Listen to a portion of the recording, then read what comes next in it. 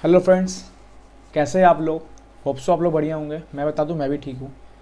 चलो sir already हमारा दो क्लासेस इंक्वायरी इंस्पेक्शन इन्वेस्टिगेशन में हो चुका है।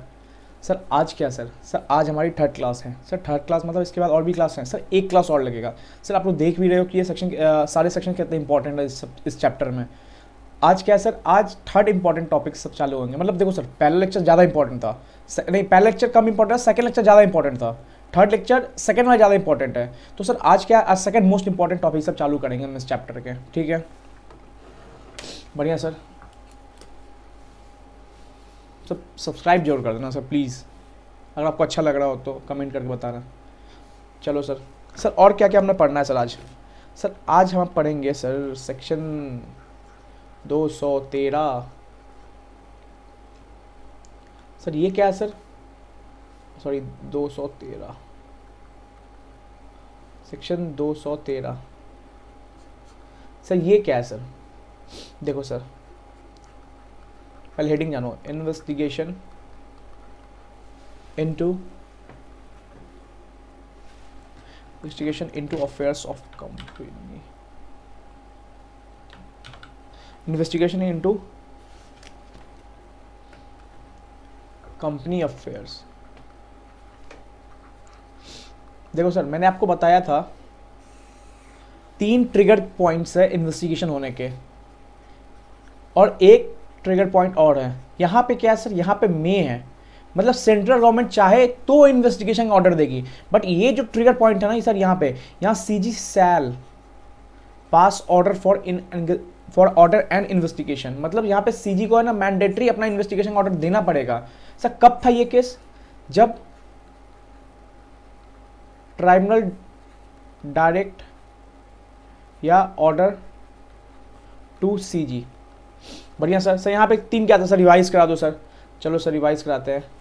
पहला सर था S R plus intimate to C G S R तो पास होना चाहिए, प्लस इंटीमेशन भी होना चाहिए टू सी जी को। ठीक है सर। सर, और क्या था सर? पब्लिक इंटरेस्ट में था सर।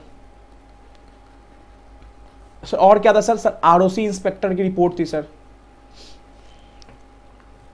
सर इन केस में क्या है? सर इन तीन केस में ये था, अगर सीजी को लगता है ना, तब सर इन्वेस्टिगेशन का ऑर्डर देगा। ऐसे नहीं देगा। और यहाँ पे क्या है? यहाँ पे अगर ट्राइब्यूनल ने बोल दिया सीजी को कि भाई तुम्हें इन्वेस्टिगेशन करवाना है तो करवाना ही पड़ेगा। सीजी सेल अब सीजी अपॉइंट करेगा इंस्पेक्टर तो यहाँ ट्राइब्यूनल ने बोला ठीक है।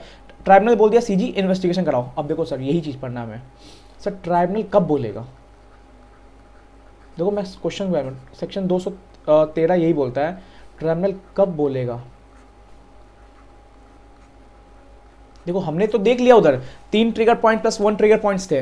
बट चौथा जो ट्रिगर पॉइंट है सर ट्राइब्यूनल के द्वारा ऑर्डर आना चाहिए। बट ट्राइब्यूनल कब जाएगा सीजी को ऑर्डर देने के लिए? ये समझना है 213 में।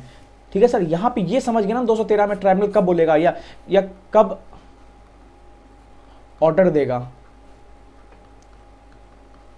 सीजी को। सर ये समझ गए ना सर हम? तो बस समझो ये सेक्शन इतना ही बोल रहा है। सर ट्राइब्यूनल कब बोलेगा सीजी को? हमने जाना कि 210 में मैंडेटरी है सीजी को अपना इन्वेस्टिगेशन करवाना है। बट कब? ट्राइब्यूनल कब जाएगा सीजी बस पागल तो नहीं ना ट्राइब्यूनल की बोलेगा इन्वेस्टिगेशन करा दो किसी कंपनी का। तो ट्राइब्यूनल पास जाने के लिए भी सर क्राइटेरिया है। एप्लीकेशन लेकर ट्राइब्यूनल पास जाना पड़ेगा। सर, वो एप्लीकेशन क्या है, सर? देखो, सर। पहले समझो।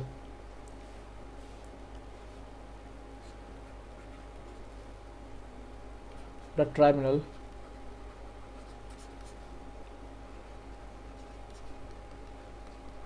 देखो सर, अब ट्राइब्यूनल पास जाने के लिए भी ना सर, तीन ट्रिगर पॉइंट्स हैं यहाँ पे। देखो इन्वेस्टिगेशन करवाने के तीन प्लस एक ट्रिगर पॉइंट्स थे। तो एक में हमने देखा सर सेल है। तो वो ट्राइब्यूनल जब जा रहा है ना तो ट्राइब्यूनल के पास कोई आया, बोले कि, सर, आपको सीजी को इन्वेस्टिगेशन ऑर्डर देना तो वो ट्राइब्यूनल पास, अब अब हम जो ट्राइब्यूनल के पास जा रहे हैं ना, सर, वो क्राइटेरिया देखना है कि ट्राइब्यूनल जब बाद में सीजी के पास जाता है, पहले उससे पहले ट्राइब्यूनल पास कोई तो जाएगा सीजी के पास जाने के लिए। तो हम ट्राइब्यूनल पास जा रहे हैं ना, वो क्राइटेरिया देखेंगे यहाँ पे। तो ट्राइब्यूनल में in case of company having share capital. Order for conduct of investigation.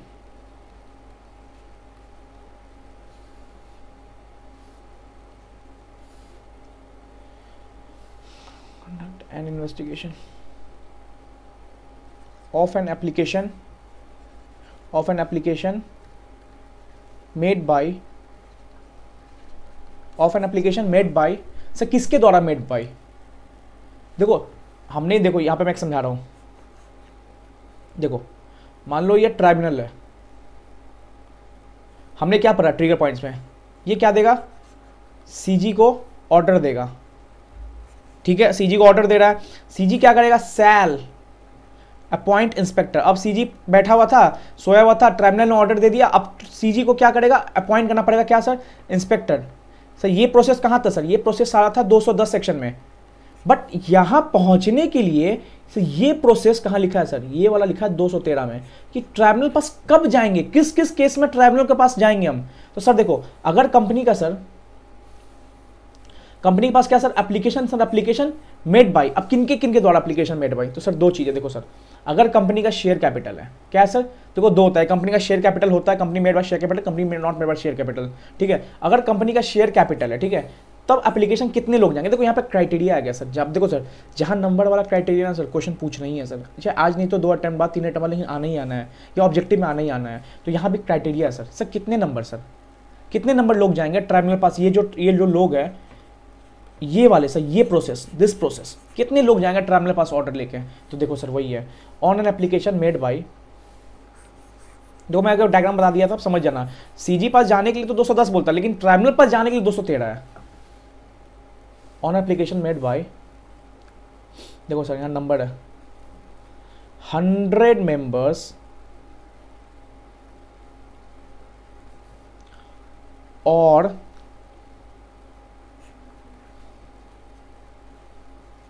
members holding one tenth of total voting power ठीक है?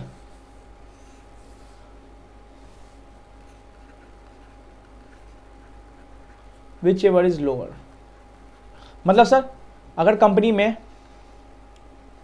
हज़ार लोग हैं वन थाउज़ेंड लोग हैं, और कंपनी ने आप ट्राइब्यूनल पास एप्लीकेशन लेके गए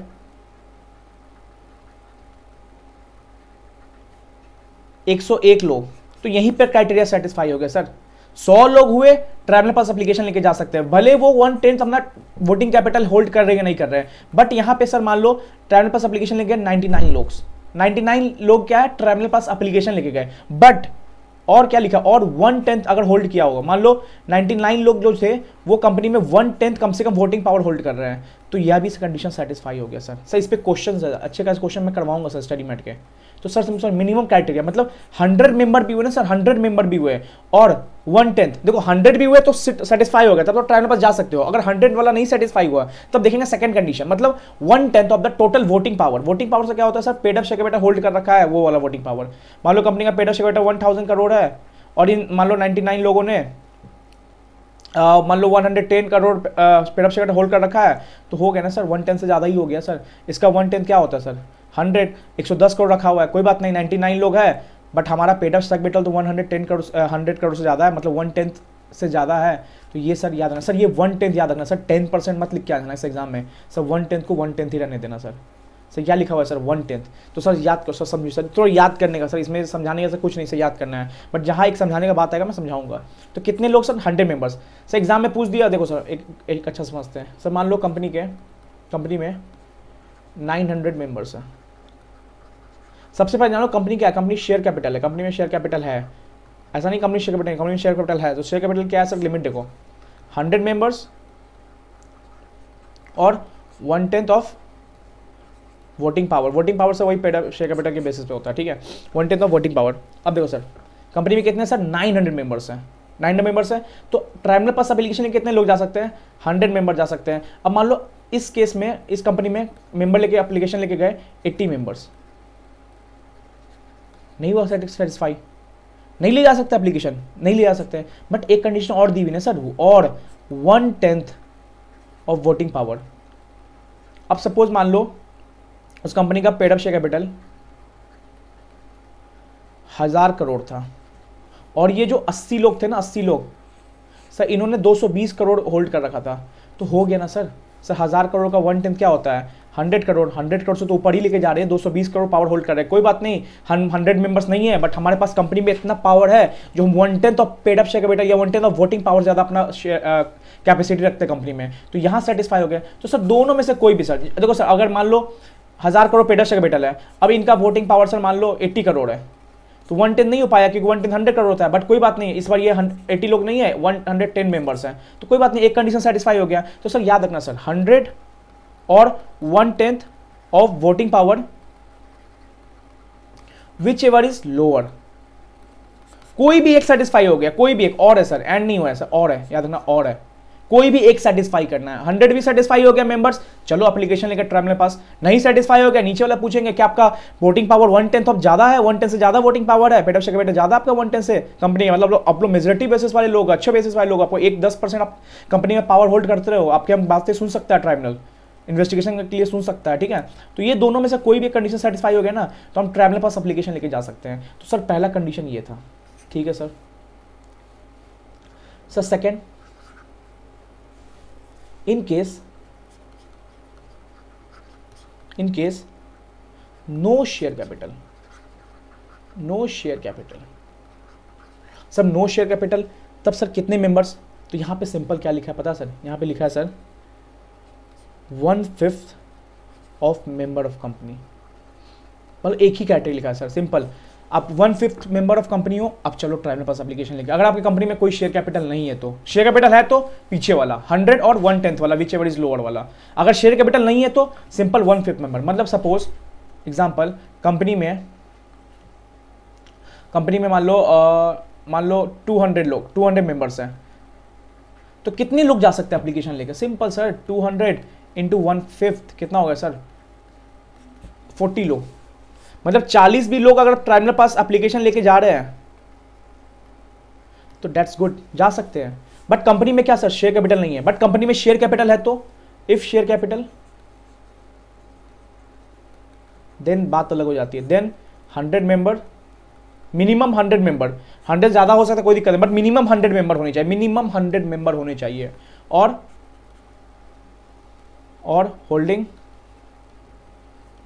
one tenth of voting power at least कोई बात नहीं वन टेंथ नहीं है, उससे ज़्यादा है तो रखो voting power but at least one tenth होना चाहिए। इसमें से कोई भी सेटिस्फाई है sir whichever is lower मतलब कोई भी सेटिस्फाई हो गया आपका अब जाओ ट्राइवलर एप्लीकेशन लेके बट आपका शेयर कैपिटल नहीं है तो सिंपल बोला one fifth of member of company member जितने कंपनी के ना sir one fifth one fifth direct one fifth number बोला सर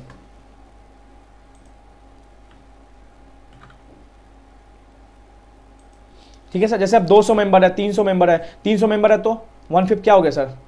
मान लो 300 है तो वन फिफ्थ हो गया 60 तो 60 मेंबर एप्लीकेशन लेके जा सकते हैं। तो सर, याद रखना, सर नो शेयर कैपिटल के direct number one fifth member simple बोल दिया, एक एक वन बाई फिफ्थ करके जितने मेंबर है, आप एप्लीकेशन लेकर ट्राइब्यूनल पर जा सकते हैं। अभी इन्वेस्टिगेशन चालू होगा, नहीं होगा, वो ट्राइब्यूनल डिसाइड करेगा यहाँ पे। यहाँ ट्राइब्यूनल होल्ड पे रखता है, ठीक है? अब देखो, सर थर्ड केस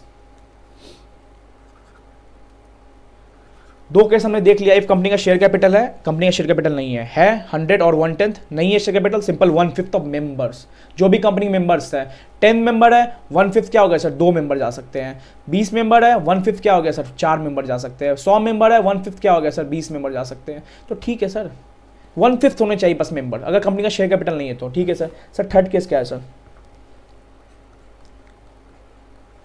ट्राइब्यूनल में order on application.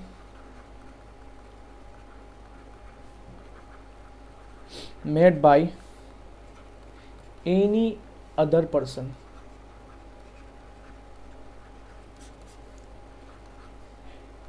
और एनी सर्कमस्टांसेस सर ये क्या है सर अब समझो सर ये थोड़ा इंपॉर्टेंट है सर देखो सर हमने पहला में नंबर देखा कि शेयर कैपिटल अगर होल्ड कर रखा है तो मेंबर जा रहे हैं। सेकंड में क्या है? शेयर कैपिटल नहीं है तो मेंबर जा रहे हैं। सर थर्ड में क्या सर थर्ड में क्या sir tribunal may order on application made by any other person वहाँ पे तो दोनों केस में? मेंबर्स या शेयर कैपिटल शेयर होल्डर थे।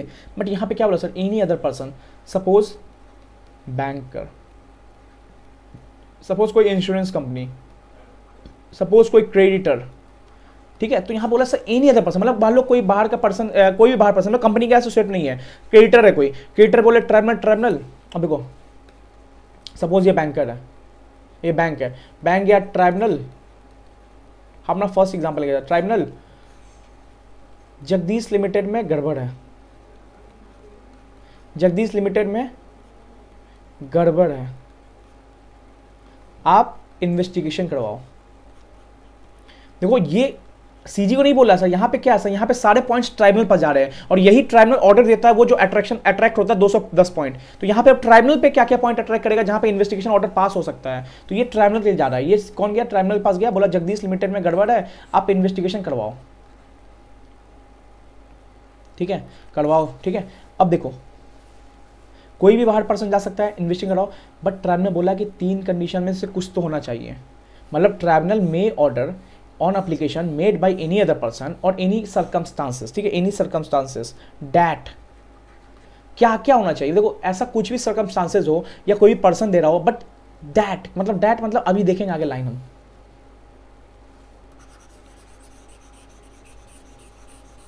डैट डैट से यहाँ पे तीन पॉइंट है। डैट बिज़नेस अब जो बैंक जा रहा है, वो ऐसे ही हवा में थोड़ी चल जाएगा ट्राइब्यूनल पास। ट्राइब्यूनल इन्वेस्टिगेशन का बताओ, क्या होगा का क्या हो रहा कंपनी में जो तुम्हें लग रहा है कि इन्वेस्टिगेशन कराने जा रहे हो तुम? ट्राइब्यूनल पूछेगा बैंक से, तुम आए हो, ठीक अच्छी बात है बट तुम्हें क्या लग रहा है कि इन्वेस्टिगेशन होना चाहिए? तो वो, सर, क्या लग रहा है ना, सर, वो ए बी सी में लिखा हुआ है कि जो थर्ड पर्सन है, वो किस बेसिस पर ट्राइब्यूनल में जा रहा है? क्या सोच के जा रहा है, सर? तो ये ए बी सी में लिखा है, सर, ये। Business of company is being conducted with intent to defraud his members और क्रेडिटर्स मतलब सर, देखो सर बैंकर गया ट्राइब ने पास नॉक नॉक ट्राइब ने बोला हाँ बताओ, वो इन्वेस्टिगेशन करवाना है बैंकर ने बोला ट्राइब ने बोला, ठीक है, कोई एप्लीकेशन लिमिट है नहीं सर बट ने पूछेगा, किस बेसिस पे तुम आए हो? तो उस बैंकर ने बोला कि जो बिज़नेस है ना जगदीश लिमिटेड का कंपनी का, वो जो कंडक्टेड हो रहा है ना, वो इंटेंट मतलब डिफ्रॉड जो कंपनी चल रहा है ना, वो फ्रॉड करने के बेसिस पे, किसके लिए, किसको फ्रॉड कर रहा है? मेंबर्स को मतलब मेंबर्स का पैसा लगा के कहीं और इन्वेस्ट कर रहा है। या मान लो क्रिएटर का पैसा लेके उसको ना, कहते नहीं ये क्रिएटर का पैसा ले लिया, पचा लिया मतलब नहीं देना उसको। तो वो फ्रॉड करने की कोशिश कर रहा है सर कंपनी तो इस बेसिस पे क्या हुआ? बैंकर गया यहाँ पे।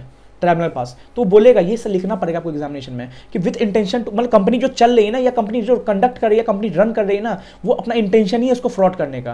मतलब कंपनी बनी है फ्रॉड कर मतलब कोई कंपनी बना दिया जगदीश लिमिटेड इसका काम ही है कि पैसा लिया है मतलब फ्रीडम करके आया था मोबाइल ढाई सौ रुपया। बस ढाई सौ रुपया सब जमा किया, उसका कंपनी का इंटेंशन ही था कि फ्रॉड करके निकल जाना यहाँ से। एग्ज़ाम्पल है बस, ठीक है? समझते ना? तो ये सर समझना सर, बस कंपनी का इंटेंशन क्या था? बस आए, बनाया इसने और फ्रॉड कर निकल जाना। तो बैंकर गया मान लो फ्रीडम है बैंकर गया, बोला टाइम टाइम ना कंपनी जो बनी है ना, इसका इंटेंशन ही है कि फ्रॉड करना मेंबर्स क्रिएटर का फ्रॉड करके पैसा लेके भागने का। तो ये इस बेसिस पे भी कोई थर्ड पर्सन जा सकता है। यहाँ कोई लिमिट नहीं है कि हंड्रेड लोग या कोई भी। अगर ये हो रहा है कंपनी में ना तो बस उसको रोकने के लिए, जल्दी से जा रहा है ट्राइम पास ट्राइम इन्वेस्टिगेशन ऑर्डर दो कंपनी फ्रॉड करने के लिए बनी है। ठीक है? सर और क्या हो सकता है? और सर, सब person concern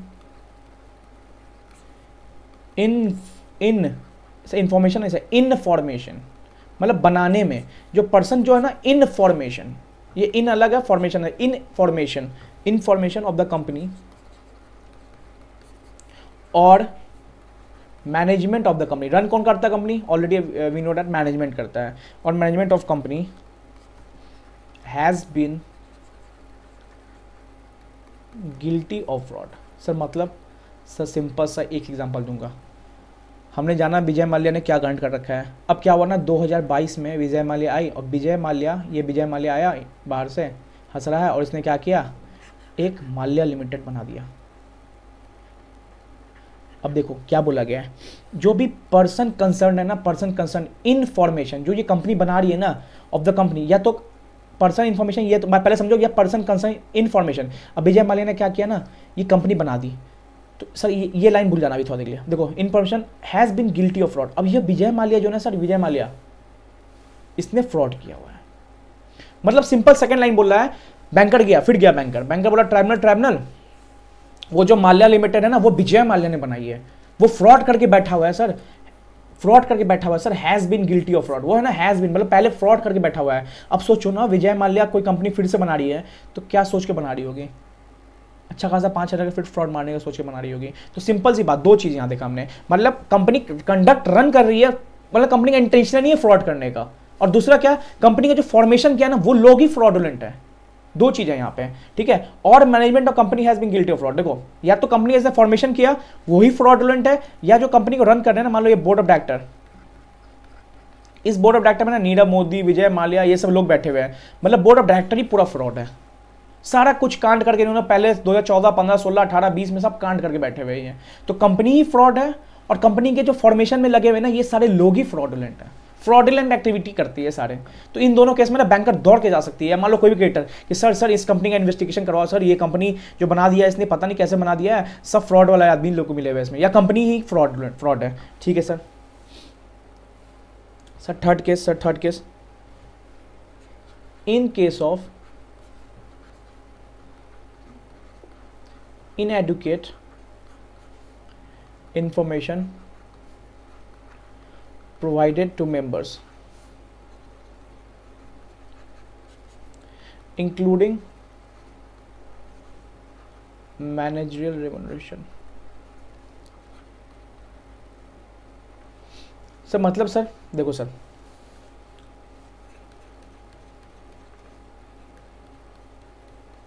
तो ये क्या है सर? ये लोग क्या हुए सर? ये लोग हुए मेंबर्स मैं समझो शेयर होल्डर्स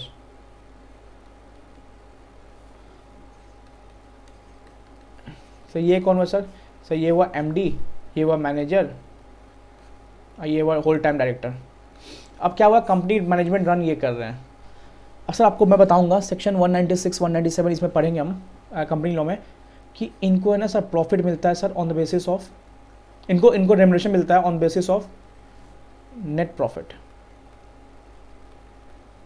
ठीक है सर इनको बेसिस मिलता है on the basis of net profit जितना भी नेट प्रॉफिट हुआ, उनका परसेंटेज मिलता है. सपोज़ मान लो 200 करोड़ रुपया नेट प्रॉफिट है तो उसका परसेंटेज प्री डिसाइड है यहाँ पे. बढ़ाना है तो एसआर पास करना पड़ेगा, ठीक है?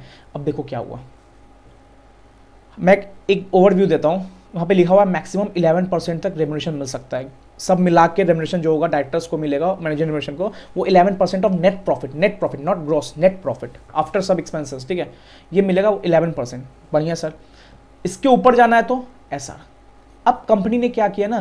कंपनी ने 13 परसेंट दे दिया और एसआर पास नहीं किया. अब ये मेंबर हाथ पे हाथ बैठे हुए हैं। इन्होंने बोला कि कंपनी कंपनी ज़रा इन्फॉर्मेशन देना मेरे को कौन कौन सा एमडी है? इसने बोला, mister A mister B and mister C company ने दे दिया। अब बोला, कंपनी कंपनी, मेरे को बताना कितने रिमोशन मिले? अब कंपनी ने दिया ही नहीं। समझे? कंपनी ने दिया ही नहीं। अब ये बोले, हो गए आग बबूले। बोले, भाई, दो। ये बोला, दूँगा ही नहीं। मतलब दूँगा तो पता चल जाएगा, ये तेरह परसेंट है और हमने एस भी पास नहीं किया। अब ये क्या किया? ये पहुँच गया ट्राइब्यूनल के पास। सब पहुँच गया ट्राइब्यूनल के पास, ठीक है? बोले कि, भाई कंपनी हमें ना इन एडुकेट इन्फॉर्मेशन दे रही है। और वो कौन सी, देखो यहाँ पे ना स्टडी में लिखा है सर इंक्लूडिंग मतलब वो भी इंफॉर्मेशन नहीं दे रही है जो रिलेटेड है मैनेजर रिमोनेशन से। एग्ज़ाम में क्वेश्चन बन सकता है, सर, कि कंपनी ने अपना इन्फॉर्मेशन दिया शेयर होल्डर्स ने मांगा कंपनी ने दिया, फिर शेयर होल्डर्स मांगा मैनेजर रिमोनेशन क्या कंपनी बाउंड है देने के लिए manager remuneration yes sir bound है। नहीं देगी तो ये चाहे तो जाके इन्वेस्टिगेशन का ट्राइब्यूनल को अप्लीकेशन भी दे सकते हैं। ठीक है? तो इन केस ऑफ़ इनएडिक्वेट ऐसे बना सकता है, क्योंकि यहाँ पे ना सर यहाँ पे सेपरेट स्टडी में लिखा हुआ है स्टडी मैट में इंक्लूडिंग मैनेजर रिमुनेशन तो ये सब जब मिले ना आपको इंक्लूडिंग इंक्लूडिंग तो समझ जाना है क्वेश्चन बनने का चांसेस यहाँ से आ सकते हैं। आईसीआई यहाँ से बोलेगा सिंपल इस पर ड्राफ्ट कर देगा क्वेश्चन आपको, कि कंपनी है ना मैनेजर रिमोशन इन्फॉर्मेशन दे सकती है, नहीं दे रही है, क्या मेंबर्स ट्राइमले पास अप्लीकेशन डाल सकते हैं? हाँ डाल सकते हैं। क्योंकि यहाँ लिखा है, सर, अगर मान लो कंपनी इनएडुकेट इन्फॉर्मेशन या लो जो मेंबर्स मांग रहे हैं, वो मिल नहीं रहा है या मिल रहा है तो गलत मिल रहा है या पूरा नहीं मिल रहा है। और वैसे इन्फॉर्मेशन लाइक मैनेजर रिमोनेशन वो भी नहीं मिल रहा है। क्योंकि मैनेजर रिमोनेशन में ना मेंबर्स का थोड़ा थोड़ा पार्ट आता है। क्योंकि eleven percent of net profit तक तो कोई दिक्कत नहीं है, दे सकती है। शेड्यूल में भी लिखा है और one ninety seven one ninety six ये सब भी बोलता है। बट इलेवन परसेंट से ऊपर गया ना, सर तो याद रखना कंपनी लॉ में लिखा हुआ है कि एसआर पास करना पड़ेगा by member in general meeting तो कंपनी ने तो पास ही नहीं किया एसआर अब कंपनी डर रही है शेयर से मांगा इन्फॉर्मेशन मैनेजर इन्फॉर्मेशन का. अब क्या होता है मेंबर बोले कि यार, तुम दे नहीं रहे हो इनएडिकेट इन्फॉर्मेशन है, हम जा रहे हैं भाई ट्राइब्यूनल पास अपलीकेशन दर्ज करने कि तुम भाई फ्रॉड वर्ड कर रहे हो मतलब इलेवन परसेंट की जगह thirteen percent twenty five percent दे रहे हो रेमोनेशन मैनेजर पर्सन को. सब जाएँगे फ्रॉड में जा रहे हो आप लोग. ठीक है, सर. सर, इसके बाद इसके बाद सर कुछ नहीं है, सर. ट्राइब्यूनल क्या करेगा? एनालिसिस करेगा। देखो, ज़रूरी नहीं है यहाँ पे, देखो, अब यहाँ पे क्या है? यहाँ पे ट्राइब्यूनल एनालिसिस करेगा। ट्राइब्यूनल बाउंड नहीं है कि उसने एप्लीकेशन दिया या कुछ भी केस हुआ ट्राइब्यूनल बोल दिया इन्वेस्टिगेशन नहीं। अब ट्राइब्यूनल एनालिसिस करेगा। Then then order to C G for conducting investigation अब यहाँ पे ना सर, यहाँ पे सी जी बाउंड है सर। यहाँ पे क्या करेगी सर सी जी अब क्या करेगी सी जी आँख बंद करके कुछ एनालिसिस नहीं करेगी।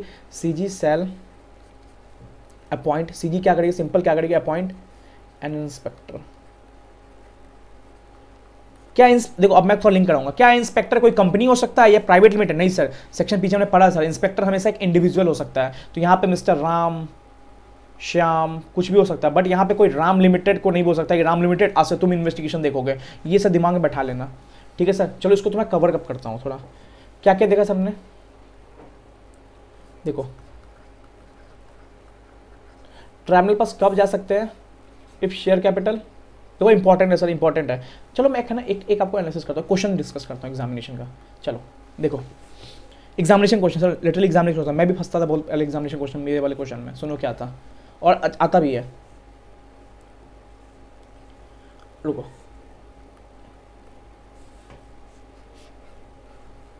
कंपनी, मान लो कंपनी ए ठीक है? ये कंपनी के शेयर होल्डर्स है। ये कहाँ गए? ये क्या सीजी के पास। अब सीजी के पास जाने के लिए सीजी इन्वेस्टिगेशन ऑर्डर कब देता है सर? तीन ट्रिगर कंडीशन 210 बोलता है। ये जो देखो सीजी के पास जाना मतलब 210 ये क्या सीजी के पास? बोले सीजी सीजी हम 100 मेंबर्स आए आपके पास एप्लीकेशन लेके और हमारा one tenth of voting power भी है। अब बताओ, ये एग्जामिनेशन क्वेश्चन से मैं डिस्कस कर रहा हूँ। क्या सीजी इन्वेस्टिगेशन ऑर्डर देगा? क्या सीजी इन्वेस्टिगेशन ऑर्डर देगा? सोचो। सर सेक्शन 210 में क्या बोलता है? ये बातें तो है ही नहीं सेक्शन 210 में। सेक्शन 210 में बोलता है, कंपनी को क्या सर एस आर पास करना होगा। ये सौ एक सौ दस की बातें तो ट्राइब्यूनल पास जाना तुम। अब देखो, मैं ये लिंक करा रहा हूँ, सो सोचो। कंपनी को एस आर पास करना पड़ेगा प्लस इंटीमेशन देना पड़ेगा। सीजी पूछेगा, तुम्हारी कंपनी में कितने लोग हैं? ये बोलेंगे, कंपनी में हज़ार मेंबर्स है। तो सीजी बोलेगा, भाई 75 परसेंट लोग मतलब एस आर मतलब 750 मेंबर आने चाहिए, मेरे पास आ रहे हो सीजी के पास आ रहे हो तो। ये बोलेगा, सर, लिखा हुआ था लॉ में 100 मेंबर भाई बोलेगा, चल निकल यहाँ से। अब ये लोग मायूस हो गए 100 लोग। अब ये 100 लोग यहाँ पे सर नहीं आ सकते, ये क्वेश्चन है एग्जामिनेशन का। But but but but but sir, ये 100 लोग यहाँ नहीं आ सकते। बट ये सौ लोग हैं ना सर सेक्शन 213 में जा सकते हैं। किसके पास? ट्राइब्यूनल के पास। क्योंकि यहाँ लिखा है सर ट्राइब्यूनल के पास जाने के लिए। हंड्रेड मेंबर और one tenth of voting power तो याद रखना सर एग्जामिनेशन क्वेश्चन है। पहले पूछेगा सी जी आप 75 परसेंट एस आर पास कियो वो बोलेगा नहीं। बोलेगा, अभी निकल यहाँ से। मतलब सीजी के पास 210 में नहीं आ सकते। बट वो लोग मायूस खड़े हैं। बट उनके पास एक दरवाज़ा खुला, सर 213 213 में क्या लिखा हुआ है? आओ मेरे पास। बोला कि आप 100 मेंबर्स हो, वो बोले हाँ हाँ हंड्रेड मेंबर्स है। आप एस पास भले भी मत करो, आप 213 में आओ ना। आप ट्रैवलर पास, ट्रैवलर को मौका दो, सर सीजी हो सकता है बिज़ी होगा, नहीं सुन रहा, हम आपकी सुनेंगे। आप सौ मेंबर हो, कोई दिक्कत नहीं। आपकी कंपनी में हज़ार मेंबर है, आप सौ मेंबर आए हो, बहुत है बहुत है मेरे लिए। मुझे सौ ही मेंबर चाहिए। या मान लो आप आप अस्सी मेंबर ही आए हो बट आपकी कंपनी में सब one tenth of voting power hold कर रहे हैं। अब में क्या करेगा? अब ट्राइब को लगेगा इन्वेस्टिगेट कराना है तो ये सीजी को ऑर्डर देगा। अब अब सीजी सेल अब ये लोग बोलेंगे सीजी को, और भाई, आ गया स्वाद। हमें यहाँ भगा दिया तुमने। अब देखा, तुम ट्राइब्यूनल के बोलते ही तुमने अपना ऑर्डर कर दिया इंस्पेक्शन इन्वेस्टिगेशन का। तो याद रखना सर सीजी के पास वही लोग जाएँगे जो एसआर प्लस इंटीमेशन कर रहे हैं सीजी को। बट अगर हंड्रेड मेंबर्स वाले कंसेप्ट है, वो ट्राइब्यूनल के पास जाएँगे। ये ट्राइब्यूनल के पास जाएँगे हंड्रेड मेंबर्स वाले। तो याद है ना एग्जामिनेशन क्वेश्चन आया हुआ सर तो ये मत लिख के आ जाना कि इन्वेस्टिगेशन नहीं हो सकता। इवन हाँ 210 में नहीं हो सकता। 210 में साफ़ साफ़ लिखा हुआ है एस आर बट 210 छोड़ के 213 में हो सकता है सर अगर एप्लीकेशन 100 मेंबर्स लेके ट्राइब्यूनल पास पहुँच जाए और ट्राइब्यूनल अपना एनालिसिस करके सीजी को ऑर्डर दे दे, यहाँ तो सीजी भाई ओपिनियन नहीं है। सीजी को तो आँख बंद करके इन्वेस्टिगेशन देना पड़ेगा। बड़ा आदमी का ऑर्डर आ चुका है। ये समझाना इंपॉर्टेंट था। और सीजी क्या करेगा? इंस्पेक्टर अपॉइंट करेगा। कोई भी प्रोसीडिंग इन्वेस्टिगेशन का इंस्पेक्टर अपॉइंट करेगा। तो सर ये सेक्शन 213 था सर समझना सर ये मैंने क्वेश्चन डिस्कस किया आपसे। और बहुत इंपॉर्टेंट क्वेश्चन है ये। यहाँ पे हम सौ मेंबर वाला कंसेप्ट लेके जाएँगे सीजी में थप्पड़ मार के भगा देगा। बट हम रोएँगे नहीं। हमें, हमारे पास 213 का दरवाज़ा खुला हुआ है, जहाँ पे ट्राइब्यूनल के पास अप्लीकेशन जाके बोलता है कि सौ मेंबर्स होने चाहिए। ट्राइब्यूनल है सर यहाँ सी है। ट्राइब्यूनल के पास सौ मेंबर्स भी होंगे या one tenth voting power whichever is less है। तो जो भी होगा, चलेगा यहाँ पे। अब ट्राइब्यूनल एनालिसिस करेगा, अब तब सीजी का ऑर्डर देगा। CG mandatory sir investigation order पास करना है उसको। होप सो ये क्लियर हो रहा होगा सर आपको। क्योंकि ना सर थोड़ा इंपॉर्टेंट है सर ये थोड़ा। ठीक है सर, चलो। आगे बढ़ते हैं। देखो सर 213 बहुत इंपॉर्टेंट है, क्योंकि 213 और 210 में लिंकेज है 210 में हम सीजी के पास जाते हैं 213 में हम ट्राइब्यूनल पास जाते हैं। सीजी ने थप्पड़ मारा भी हमें, बोला कि नहीं लेंगे तो आप लिखे तुमने एसआर पास नहीं किया है। तो 213 हमारे, बोलते नहीं है, शाहरुख खान से बाहर फैला के बोला कि आ जाओ हमारे पास। अगर तुम सौ मेंबर्स भी हो ना तो हम तुम्हारी बातें सुनेंगे ट्राइब्यूनल बोल रहा है। ठीक है। बढ़िया सर सर आगे बढ़ते हैं। सर, ये बहुत इंपॉर्टेंट था। सर नेक्स्ट सर नेक्स्ट है सेक्शन देखो, मैं सेक्शन सेक्शन वाइज चल रहा हूँ, आराम से सब कुछ होगा। 215 तो हमने कवर कर लिया, सर। बस 220 तक खत्म करेंगे और कल हमारा चैप्टर खत्म कल से छोटे छोटे सेक्शन ज़्यादा कुछ है नहीं। आज 220 तक खत्म करेंगे, सर। हम, हमारा टारगेट है, चाहे जितना टाइम लगे अब। ये तो 220 तक आज खत्म करेंगे, आराम से एग्ज़ाम्पल के साथ। अब देखो, सर, ये क्या है? Investigation of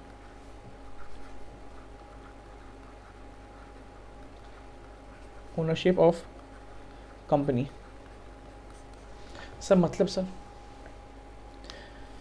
चलो, बताते हैं। ये था सर जगदीश लिमिटेड। अब देखो सर क्या बोल रहा है। यहाँ बस दो सेंटेंस आपको जानना है। सर क्या सर? सर ये कौन है सर? जगदीश लिमिटेड। क्या बोल रहा है सेक्शन इन्वेस्टिगेशन इन्वेस्टिगेशन कर रहे हैं हम, छानबीन कर रहे हैं। किसका? ओनरशिप ऑफ़ कंपनी बट यहाँ दो सेंटेंस सर क्या है सर? देखो। मान लो इस, इसके शेयर्स वन लाख है। कितने सर? वन लाख शेयर्स हैं। और मान लो ये कोई कंपनी है। कंपनी का नाम है मान लो मोहन लिमिटेड इसका कोई मेंबर है। इसका नाम है सर संजय। और इसका नाम है sir Ashutosh. Mohan limited director समझ लो डायरेक्टर है। समझ लो एग्ज़ाम्पल अभी डायरेक्टर है, ठीक है? क्या नाम है सर? संजय? चलो डायरेक्टर को थोड़ा कॉन्ट्राडिक्ट हो जाएगा। एम्प्लॉय समझ लो। ठीक है? कौन है सर? संजय नाशुतोष। किसके? मोहन लिमिटेड के। ये कौन है? जगदीश लिमिटेड। ये किसका शेयर है? एक लाख। अब इन्वेस्टिगेशन किसका चल रहा है? इन्वेस्टिगेशन चल रहा है इसका। देखो सर क्या बोल रहा है? इन्वेस्टिगेशन करना है। इन्वेस्टिगेशन भाई करता कौन इन्वेस्टिगेशन इंस्पेक्टर वो भी कौन? इंडिविजुअल देखो, सब लिंक के जैसा सब लिंक करवा रहा हूँ। Inspector body corporate person body corporate AOP form नहीं हो सकता। इंस्पेक्टर एक इंडिविजुअल हो सकता है, ठीक है? इन्वेस्टिगेशन करा इसका इंस्पेक्टर अब बोल रहा है कि इंस्पेक्टर इंस्पेक्टर और ये मान लो सी जी बोला इंस्पेक्टर इंस्पेक्टर जाओ इस कंपनी का ना ओनरशिप पता करके आओ।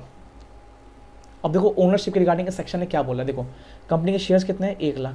अब देखो fifty thousand shares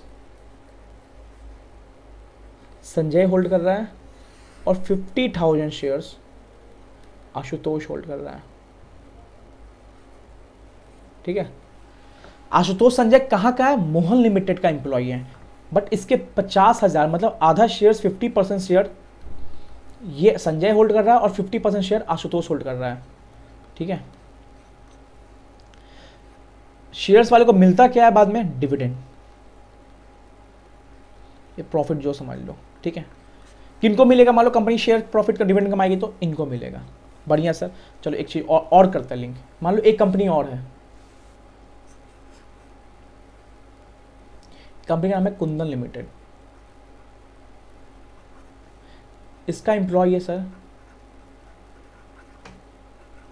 रघु. क्या सर रघु है। अब ये क्या करता है ना, सर? सर, रघु क्या करता है ना, sir?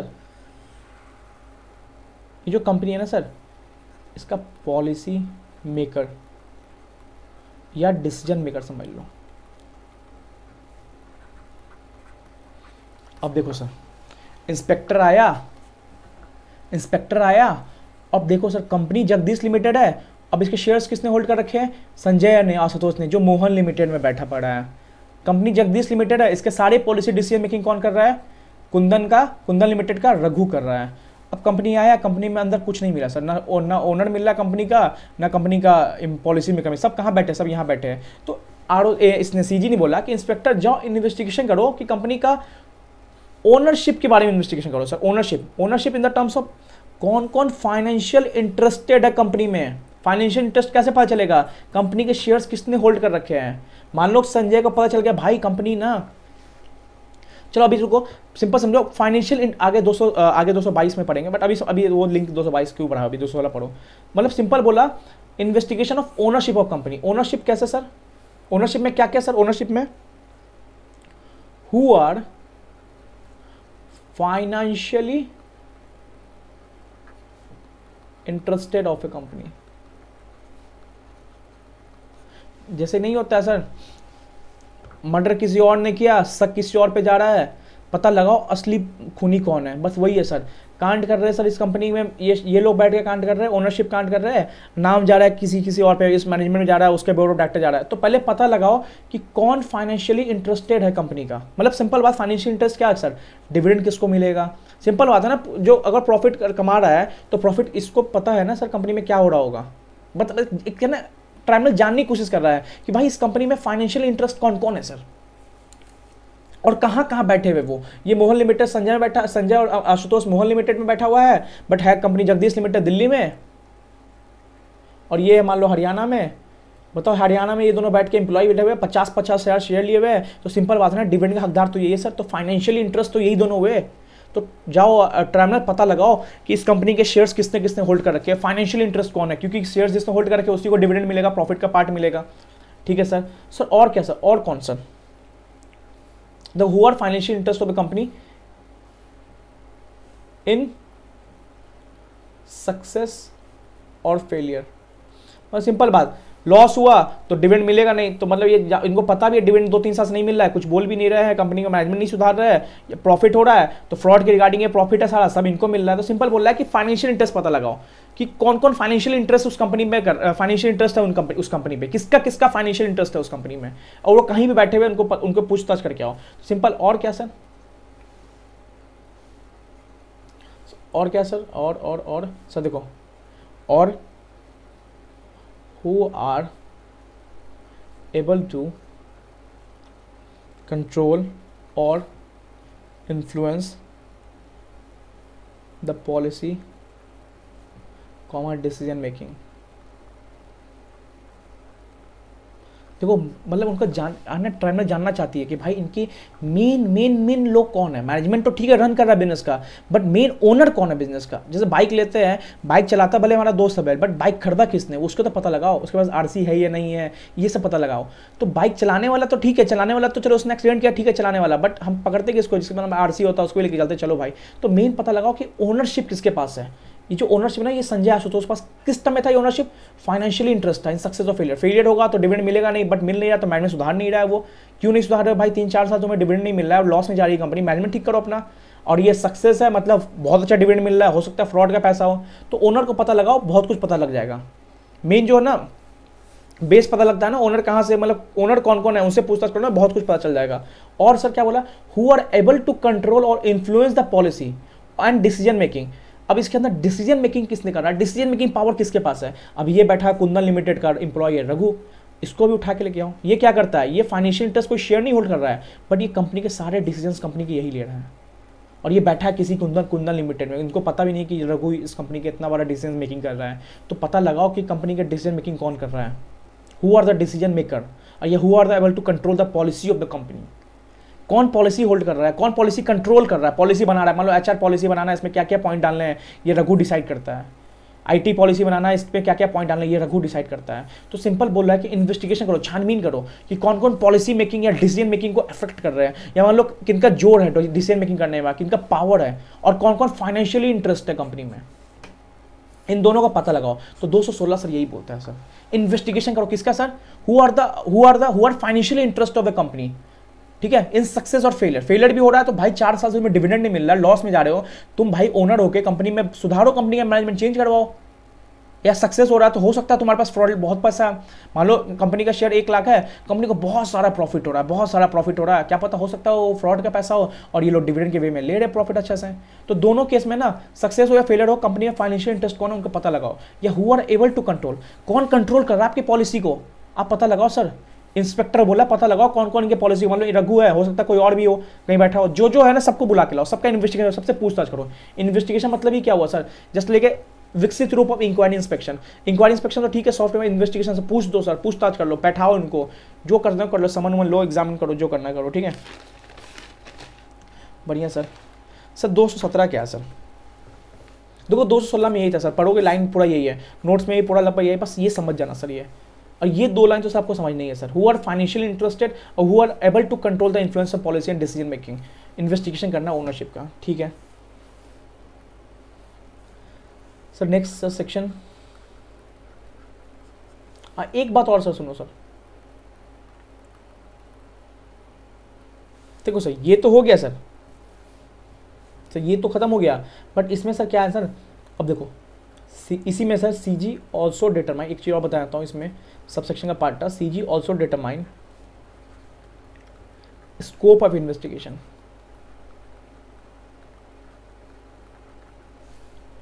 and its includes and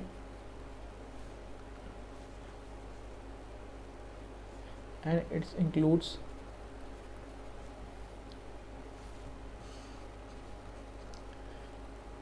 tenure of investigation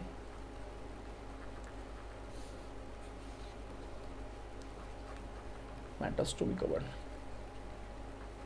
मतलब देखो सर, हम ऑडिट करते हैं ना सर तो हमारा स्कोप होता है। अगर स्कोप में लिखा हुआ कि वो एच पॉलिसी नहीं चेक करना है तो हम नहीं चेक कर, अपने स्कोप के आगे मत बढ़ो।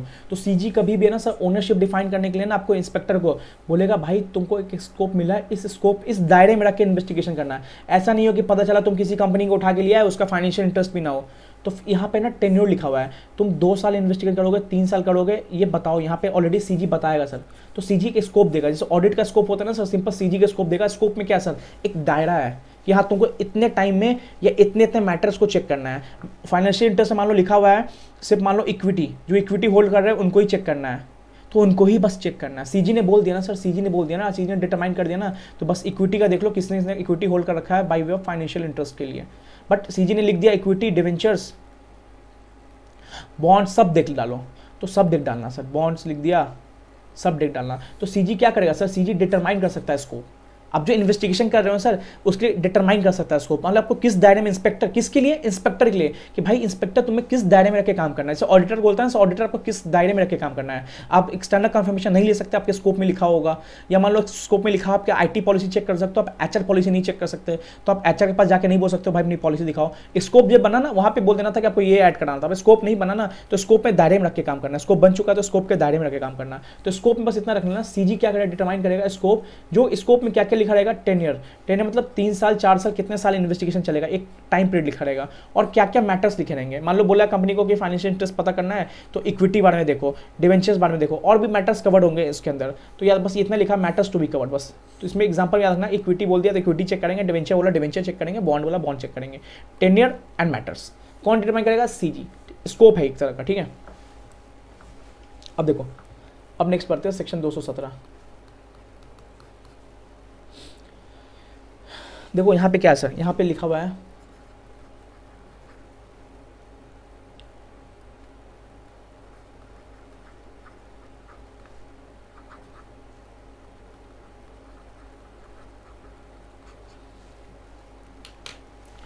कुछ नहीं है। मतलब कुछ नहीं है सर देखो सर मैं आपको एक सेक्शन बताता हूँ। सर ये सेम क्या है सर सेम लगभग लगभग सारा सेम जो बता देता हूँ। सेम एज सेक्शन 207 सर लगभग लगभग सेम है सर। क्या बोल sir? Sir power of inspector sir 207 में क्या था सर? सर पा, सर देखो पावर ऑफ़ इंस्पेक्टर ही था सर। सर कौन सा इंस्पेक्टर सर आरओसी का इंस्पेक्टर या जो भी आरओसी ने एप्लीकेशन डाला होगा सीजी को सीजी ने अपॉइंट किया होगा इंस्पेक्टर फॉर इंक्वायरी इंस्पेक्शन ठीक है? वो वाला इंस्पेक्टर तो यहाँ पे क्या था sir power simple sir dice वाली पावर थी। यहाँ भी सर क्या पावर है? सिंपल सर डाइस वाली पावर है। मतलब sir discovery and production of books पे काउंट हो सकता है इंस्पेक्शन हो सकता है कॉपीज बुक्स अकाउंट ले सकता है एग्जामिन कर सकता है ओथ पे। सर बस सर यही सब पावर है सर सर और क्या लिखा था सर सर बस देखो, मैं, मैंने, देखो यहाँ इस सेक्शन में दम नहीं है, सर, सही रहा हूँ दो सत्रह को एग्ज़ाम में आएगा भी नहीं, सर। बट एक रीडिंग है, सर दो तीन पे का रीडिंग लाला पावर वाले में डिस्क्राइब कर दिया। क्या क्या डिस्क्राइब करते हैं मैं एक को क्रक्स में बता रहा हूँ। सिंपल बता रहा है, सर पावर पूछा। तो पावर सिंपल सर डाइस वाली पावर जिसमें चार पॉइंट आपको लिख के आने हैं, सर। सर प्रोसीजर तो सर, याद रखना, सर सिंपल ड्यूटी ऑफ़ या पढ़ा हुआ सर, आपका? ड्यूटी ऑफ़ इसमें टाइम क्यों देना, sir? Duty of officer employ to give assistant to inspector simple बोला सर सिंपल कि भाई तुम्हें, तुम इंक्वायरी इंस्पेक्शन करने के लिए इंस्पेक्टर को इतना दिए थे वहाँ पे असिस्टेंस दिए थे, भाई ये तो इन्वेस्टिगेशन करने रहा है, इसको तो और अच्छे से असिस्टेंस दो। तो simple B A section sir छोटे सेक्शन में यही पॉइंट वहाँ के बोला है दो सौ सात वाली, कि तुम जो तुम्हारे जो कंपनी का ऑफिसर इंप्लॉय है ना, उनको असिस्टेंस देना पड़ेगा इंस्पेक्टर इंस्पेक्टर ने बोला, भाई ये बुक्स वगैरह लाओ तुम बोले, नहीं दोगे। तो ऐसा नहीं, भाई तुम्हें इंस्पेक्शन इंस्पेक्टर को ना असिस्टेंस हेल्प करना पड़ेगा हेल्प बस यही से बातें बोला है। और क्या बोलिए सर? चार पाँच में ये घुमा दिया। डी फोर डिस्कवरी और बुक्स ऑफ़ अकाउंट के लिए पावर है। इंस्पेक्टर का सेम है सिविल कोर्ट वाले पावर है। ऐसे लिख दिया सर यहाँ पे। सर, और क्या पावर लिखा sir? Sir search and seize कर सकता सर सर, कितने दिन sir? Sir same one eighty plus one eighty days if justified is an तो। देखो, सब लगभग लगभग सर सेम ही पावर है सर। सेम ही है सर। इसको तो और आगे डिफाइन करेंगे। इसका तो 220 या 219 में इसके लिए तो इसको थोड़ा होल्ड में रखना। बट समझना सर, यही है सर। ठीक है? Same power sir same power inspection inquiry वाला सर सेम पावर आप रीडिंग मान लें, इसका रीडिंग मान लेना सर एक बार। बट इसमें कुछ है नहीं मैं सच बता रहा हूँ। आप डाइस समझ जाओगे ना सर डाइस लिख के भी आओगे ना सर चार नंबर तो तीन नंबर मिलेगा। बट इससे क्वेश्चन आना नहीं है। वेरी वेरी लेस वेरी मतलब क्या बताऊँ? लिस्ट लिस्ट इंपॉर्टेंट पावर को कभी नहीं पूछता। पूछेगा सबको ये डाइस आना चाहिए। और क्या सर, सिंपल लिखा हुआ है कि हाँ ऑफिसर को असिस्टेंट देना है तो हम 207 में पढ़ते आए हैं। तो इंस्पेक्टर यहाँ भी है इंस्पेक्टर वहाँ भी है बट वो इंक्वायरी इंस्पेक्शन का था। ये ये इन्वेस्टिगेशन का इंस्पेक्टर है। 219 में थोड़ा चेंज आएगा। सर 219 आई थिंक हाँ 200 220 में, सर 220 में थोड़ा चेंज है। सीज के लिए वो स्पेसिफिक सेक्शन है इंस्पेक्टर का। बट 217 के लिए इतना ही है, सर। 217 के इतना ही पढ़ लेना। सिंपल ज़्यादा कुछ नहीं है। वेरी लीस्ट इंपॉर्टेंट है। 218 ज़्यादा इंपॉर्टेंट है, सर। अब देखो, सर। ये आया ये मेरे को ज़्यादा इंपॉर्टेंट लगता है ये सेक्शन क्या सर सुनो?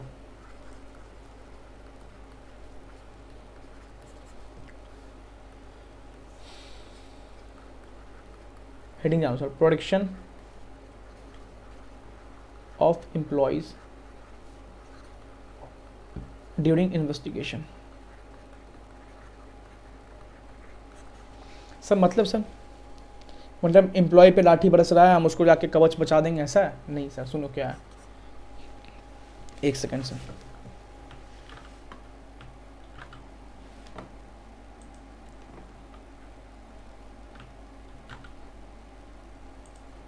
sir protection of employ during investigation देखो। ये कौन है? ये जगदीश लिमिटेड है। इस कंपनी में फ्रॉड किया, मान लो मान लो, फ्रॉड किया एमडी मैनेजर ठीक है? अब क्या हुआ, सर? अब क्या हुआ, सर? सुनते जो मैं जो बोल रहा हूँ, उसको सुनते जो मैं लिखूँगा। अब क्या हुआ, सर? इन्वेस्टिगेशन हुआ कंपनी का। ठीक है? एंड एम्प्लॉय से पूछताछ हुआ। देखो, पूछताछ सबसे होगा कंपनी में। एम्प्लॉय से क्या हुआ, सर? सिंपल सिंपल समझ लो इंक्वायरी हुआ। इंक्वायरी हुआ। अब क्या ना सर मतलब एक एम्प्लॉय ऐसा था मस्टर मान मान लो। ये था, ये मान लो मिस्टर सी करे कोई था मिस्टर सी था। इसने क्या किया, सर? सर, इसने सब सच बोल दिया। क्या किया, सर? इसने सब सच बोल दिया, ठीक है? क्या बोल दिया कि हाँ ये एमडी है ना, ये एमडी मिला हुआ था। हाँ ये, सर, ये मैनेजर मिला हुआ था। कब, सर? ड्यूरिंग इन्वेस्टिगेशन एम्प्लॉय ने क्या किया? सब सच बोल दिया। हाँ सर, ये एमडी ने सर, ये 200 करोड़ ये खाया हुआ है 200 करोड़ ये खाए हुए हैं। ये एमडी डर गया एमडी डर के मारे, सोचा कि मैं जल्दी चल जाऊँगा। इसने ना सब बोल दिया, गुस्से, डर के मारे, सब बोल दिया इसने बोला। जगदीश लिमिटेड का जो सारा मैनेजमेंट था, ये इसको बोला, तू बाहर मिल। तू बाहर मिल, भाई, तू बाहर मिल। तूने अपने कंपनी में क्या कहते नहीं है? जिस घर का नमक खाया उसमें ऐसे करके ठीक है? बोला, तू बाहर मिल अब। ये एम्प्लॉय डर गया। हाँ सर, ये एम्प्लॉय डर गया। क्योंकि देखो एम्प्लॉय डर के मारे सब बोल दिया।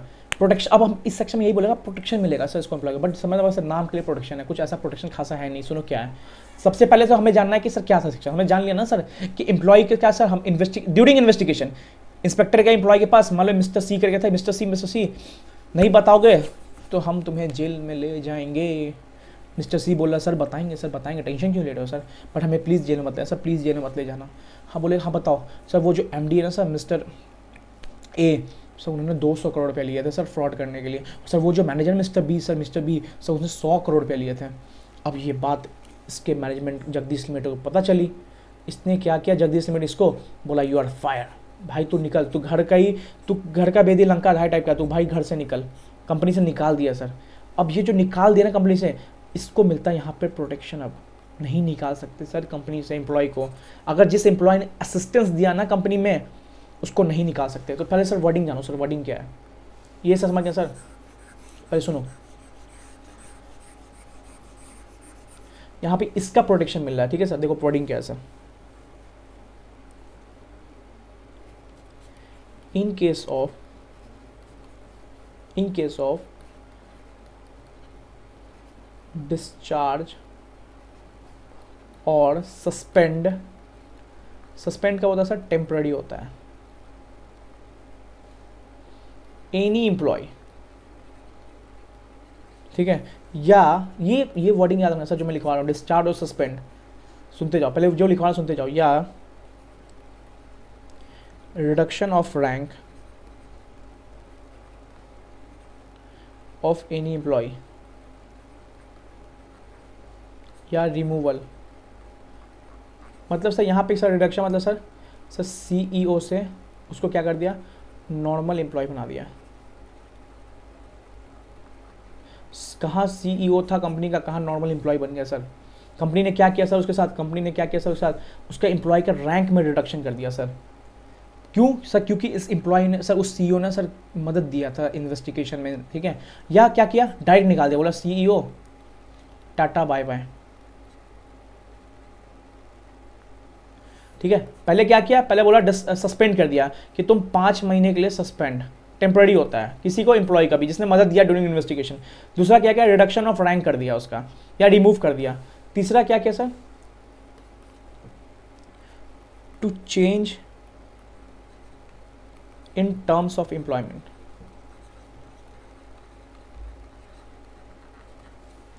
at his disadvantage sir मतलब सर सिंपल समझो। Salary per annum sixty lakh से ट्वेंटी लैख कर दिया। मतलब किसने किया सर? उस कंपनी ने। किसका किया सर? उस एम्प्लॉय का, जो असिस्टेंस दे रहा है इन्वेस्टिगेशन इंस्पेक्टर को। कंपनी बोला, तेज बन रहे हो, हमारे ही घर के लोग हो तुम और तुम इंस्पेक्टर का असिस्टेंस दे रहे हो उसको। मतलब गलत जब करा, कंपनी भी डरी हुई है। कंपनी अपने इंप्लॉय को बोली, भाई, हम सब मिले हुए हैं, तुम, सबने फ्रॉड का पैसा कमाया है बट एक आदमी था, उसमें मिस्टर सी उसने नहीं किया था। अब सब उसको धमका रहे भाई मिस्टर सी, इंस्पेक्टर को जाकर कुछ बक मत देना, कुछ बोल मत देना।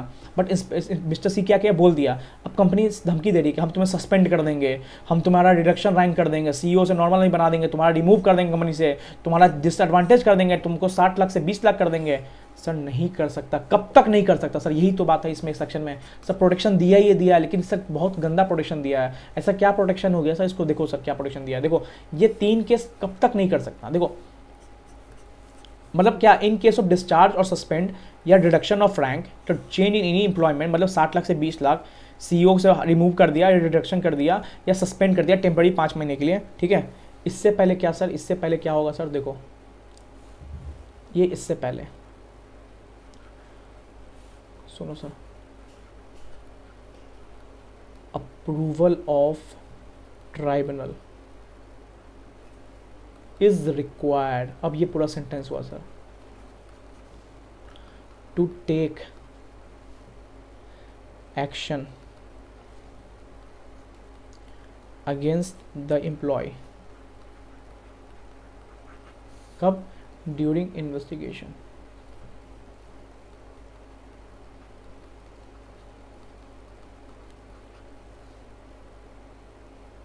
ठीक है?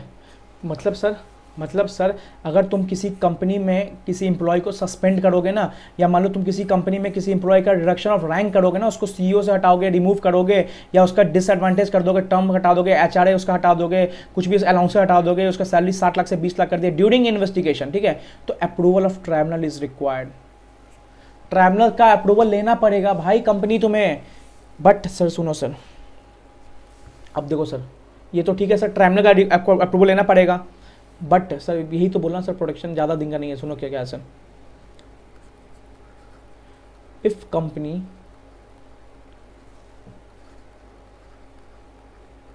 does not receive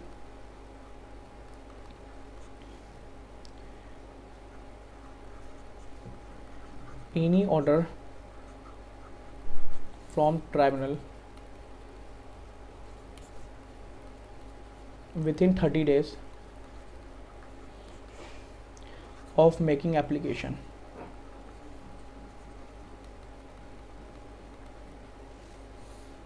ठीक है? देन कंपनी में प्रोसीड सुनो बताता हूँ इसको मैं to take action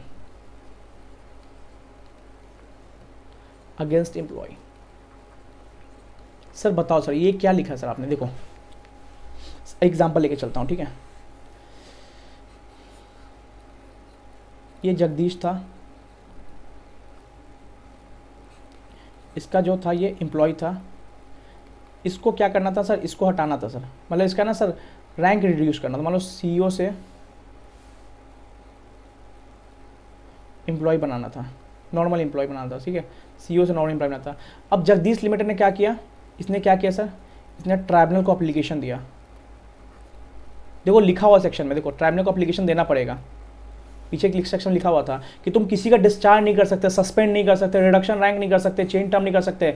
Approval of tribunal required approval tribunal is required to take action against the employ अगर तुम किसी एम्प्लॉय के अगेंस्ट एक्शन ले रहे हो ना तो अप्रूवल ऑफ़ ट्राइब्यूनल रिक्वायर्ड ज़रूरी है सर ट्राइब्यूनल से पहले पूछना, ठीक है? बट मान लो तुमने ट्राइब्यूनल पर एप्लीकेशन डाला, और तीस दिन निकल गए। ठीक है? अब क्या हो सकता है सर? तीस दिन निकल गए। कंपनी कंपनी कंपनी कंपनी में प्रोसीड टू टेक एक्शन अब कंपनी बोला कि हाँ अब भाई इसको निकालो। ठीक है सर? सर देखो, कंपनी निकालने से पहले ट्राइब्यूनल से पूछेगा।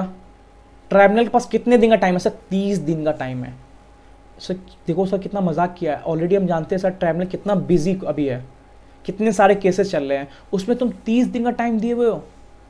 एक तरह से सर, मान ही लो ना सर ट्राइब्यूनल का ऑर्डर आने ही नहीं वाला है सर, तीस दिन के अंदर तो। इसलिए सर, ये सेक्शन नाम के लिए बस प्रोटेक्शन है, सर। ट्राइब्यूनल को बस तुमने ट्राइब्यूनल ट्राइब्यूनल को क्या किया सर? एप्लीकेशन दिया? एप्लीकेशन दिया कि मिस्टर मान लो इसका मिस्टर सी नाम था। मिस्टर सी का सीईओ से एम्प्लॉय कर रहे हैं। ट्राइब्यूनल को अप्लीकेशन मिला, तीस दिन बीत गए, मान लो पचास दिन हो गया। मान लो थर्टी फ़र्स्ट डे हुआ। भाई कंपनी अब कोई नहीं सुनी कंपनी क्या करेगी? निकाल देगी इसको मिस्टर सी को। जा भाई ट्राइब्यूनल को हमने बोल दिया था सेक्शन में लिखा था ट्राइब्यूनल ने दीज ऑर्डर दिया। तो यहाँ पे क्या होता है सर? यहाँ पे तो डीम्ड हो जाता है सर सर डीम्ड एक्सेप्ट हो जाता है एप्लीकेशन तो मतलब सर अगर मान लो अट्ठाईसवा दिन ट्राइब्यूनल ने बोला कंपनी तुम्हें नहीं निकालना है इसको, अब क्या होगा, देखो। देखो, हमें ये जान लिया सर ट्राइब्यूनल को अप्लीकेशन देना है। किसी कंपनी में एम्प्लॉय को निकालने के लिए ड्यूरिंग इन्वेस्टिगेशन या रिडक्शन इन रैंक कर रहे हो, या रिडक्शन इन रैंक कर रहे हो, निकाल लो सस्पेंड करो रिमूव कर रहे हो, किसी भी एम्प्लॉय को, उसके लिए क्या होता है ट्राइब्यूनल को अपलीकेशन देना पड़ता है। एप्लीकेशन देने के पास तीस दिन वेट करो। ट्राइब्यूनल का ऑर्डर नहीं आया, तुम निकाल दो इस एम्प्लॉय को। हो सकता है, सर, हो सकता है ना कि कंपनी में ये एम्प्लॉय सच में कुछ ऐसा किया हो जो कंपनी को निकालना पड़ रहा है इस एम्प्लॉय को। मान लो हो सकता है इसने इन्वेस्टिगेशन मदद नहीं किया बट नॉर्मल बिज़नेस में भी तो हो सकता है कि मेरे को वो सी काम पसंद नहीं आ रहा है या मेरे को उसका काम पसंद नहीं आ रहा है उसका सैलरी डाउन करना चाह रहे हैं। तो नॉर्मल कोर्स में तो हो सकता है। तो सर, देखो, इसमें बस लिखा गया ड्यूरिंग इन्वेस्टिगेशन तुम किसी भी निकाल ले मतलब तुम्हारा इन्वेस्टिगेशन चल रहा ज़रूरी नहीं उसने असिस्टेंस दिया हो इंस्पेक्टर को। उस बीच में ड्यूरिंग इन्वेस्टिगेशन तुम किसी भी इंप्लॉय का कुछ भी करोगे ना, तुम्हें ट्राइब्यूनल से पूछना पड़ेगा एप्लीकेशन देना पड़ेगा। ठीक है? तो हो सकता है ना सर, ये नॉर्मल केस में, सर, इसने कुछ मान लो इसका परफॉर्मेंस अच्छा नहीं हो कंपनी को लगे, यार, इसका परफॉर्मेंस अच्छा नहीं है, इसके साठ लाख से चालीस लाख सैलरी करते हैं। बट इन्वेस्टिगेशन चल रहा था, इसलिए तुम्हें ट्रैवलर से पूछना पड़ेगा। अब अब ट्रैवलर ने क्या हुआ सर? ट्रैवलर का तीस दिन बीत गया। तीस दिन बीता कि ये निकल जाएगा सर। अब अब ट्रैवलर से नहीं पूछना कंपनी पास पावर आ गया कि हाँ भाई, तुम्हें निकाल सकते हैं। बट अब समझो कंपनी था जगदीश। सर केस स्टडी बनता है यहाँ से याद रखना। ये था ट्राइब्यूनल इसने बोला सैलरी किसी का सैलरी सिक्सटी पर एन से फोर्टी पर एन करेंगे हम। ठीक है? ट्रैवलर ने क्या किया ना इस बार? ट्रैवलर ने ट्वेंटी एट डेज़ में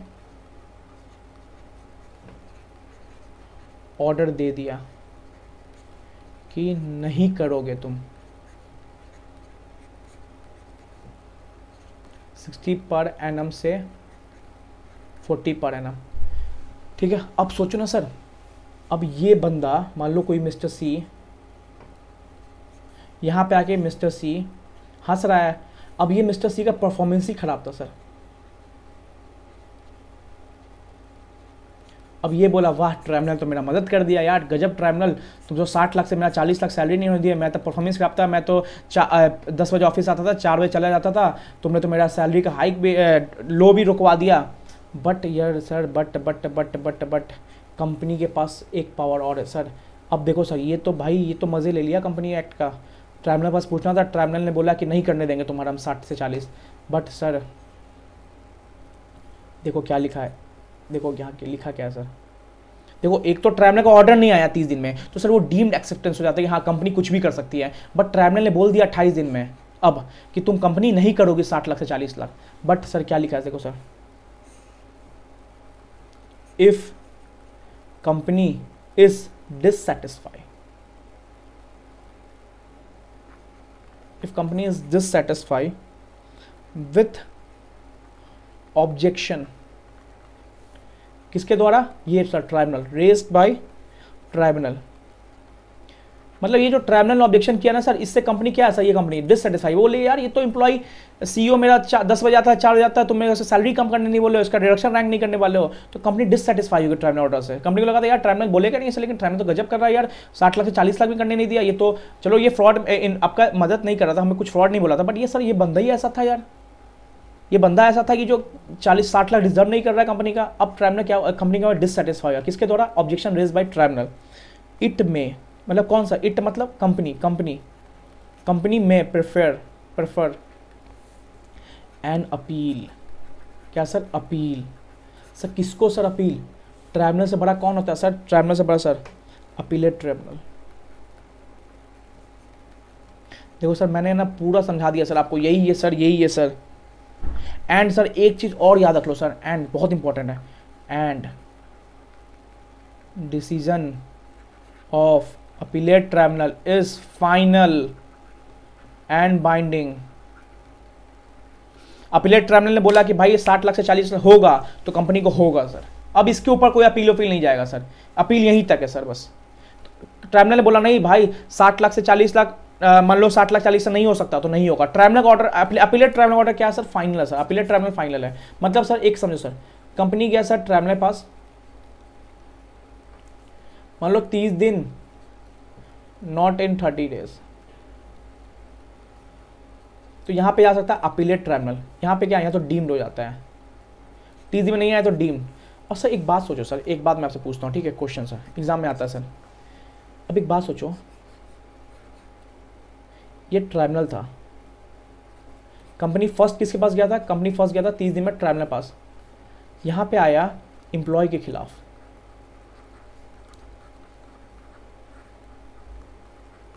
इफ़ कंपनी के खिलाफ तो? कंपनी के खिलाफ तो? तो कंपनी एपिलेट ट्राइब्यूनल पर जाएगी ऑब्जेक्शन लेके।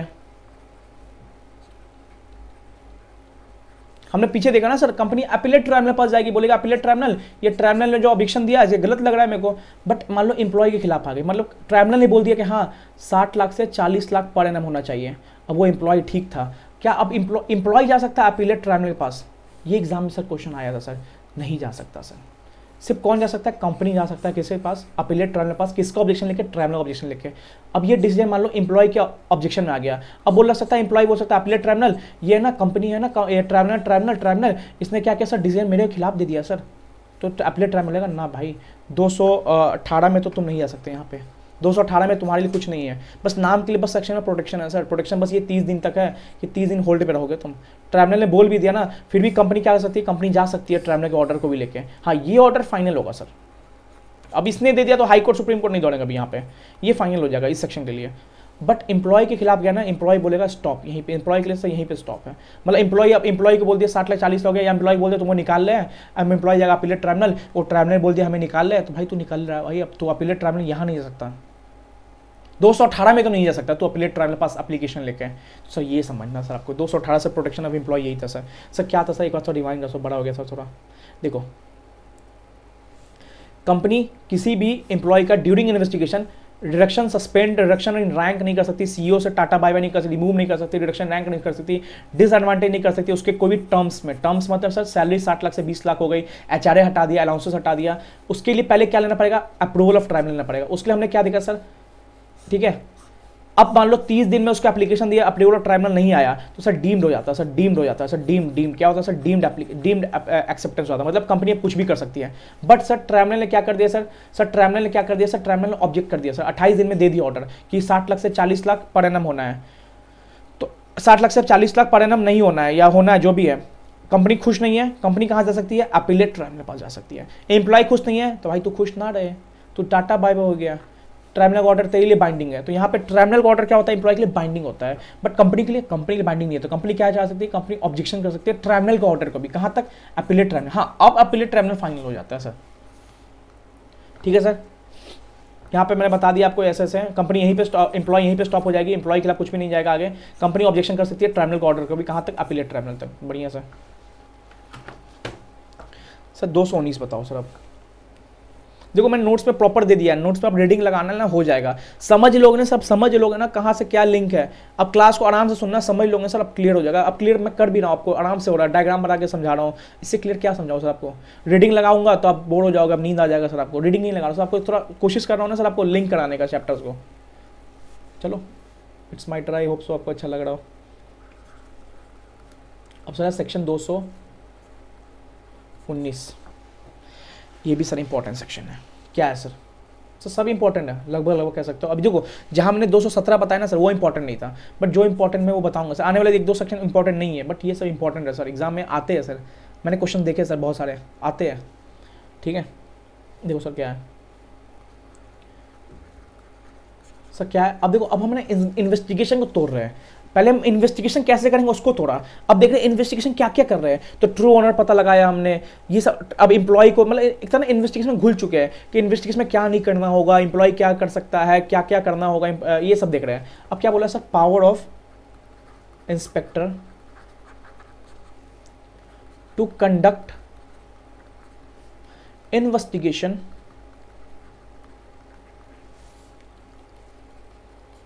into affairs of related company देखो, कुछ नहीं है, सर, कुछ नहीं है। देखो, बहुत से, आराम से सेक्शन है, सर, क्या बोल रहा है?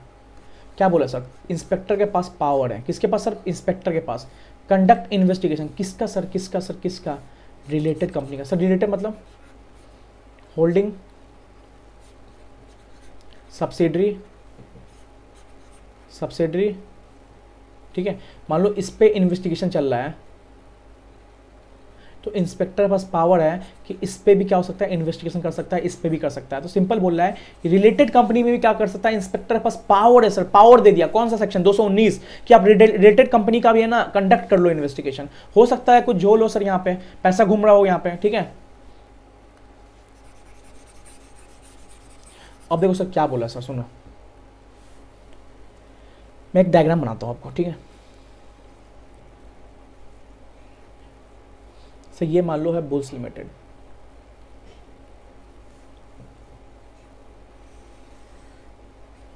कौन है सर बुल्स लिमिटेड अभी चल रहा है सर मान लो. फाइनेंशियल ईयर कौन सा चल रहा है सर? 2021 2022 सुनते जाओ.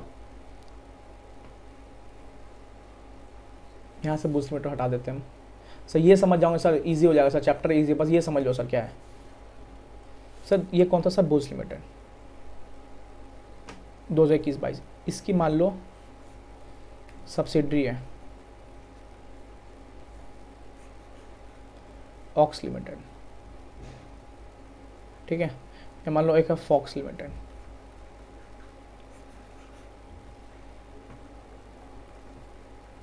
कब सर कब सर? दो हज़ार इक्कीस बाईस में। अब समझो। सर इन्वेस्टिगेशन ज़रूरी है इक्कीस बाईस का हो। इन्वेस्टिगेशन यहाँ का भी तो हो सकता है। सुनो। यहाँ के अभी को हमने, अब स्टार्टिंग जाता हूँ सर यहाँ पे क्या होगा? ये मान लो 2008 है 2009 कंपनी ने। क्या किया? बुल्स लिमिटेड इसने क्या किया sir A O C four M G T seven file किया। सर इस बेसिस पे क्या हुआ सर इस बेसिस पे हुआ सर कॉल फॉर इन्फॉर्मेशन नहीं दिया तो सर इंक्वायरी नहीं दिया तो सर इंस्पेक्शन इंक्वायरी इंस्पेक्शन दोनों साथ में। सर वो नहीं हुआ तो सर फिर उसके बेसिस क्या होगा सर इन्वेस्टिगेशन देखो सर, हमने ऑलरेडी सब लिंक देख लिया sir.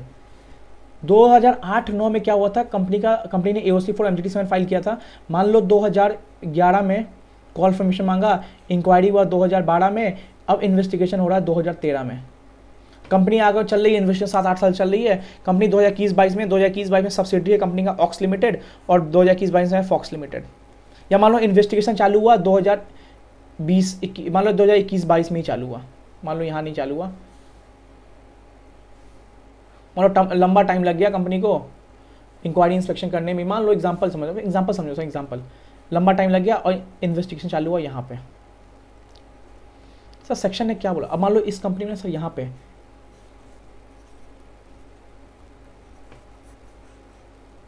And limited X Y J limited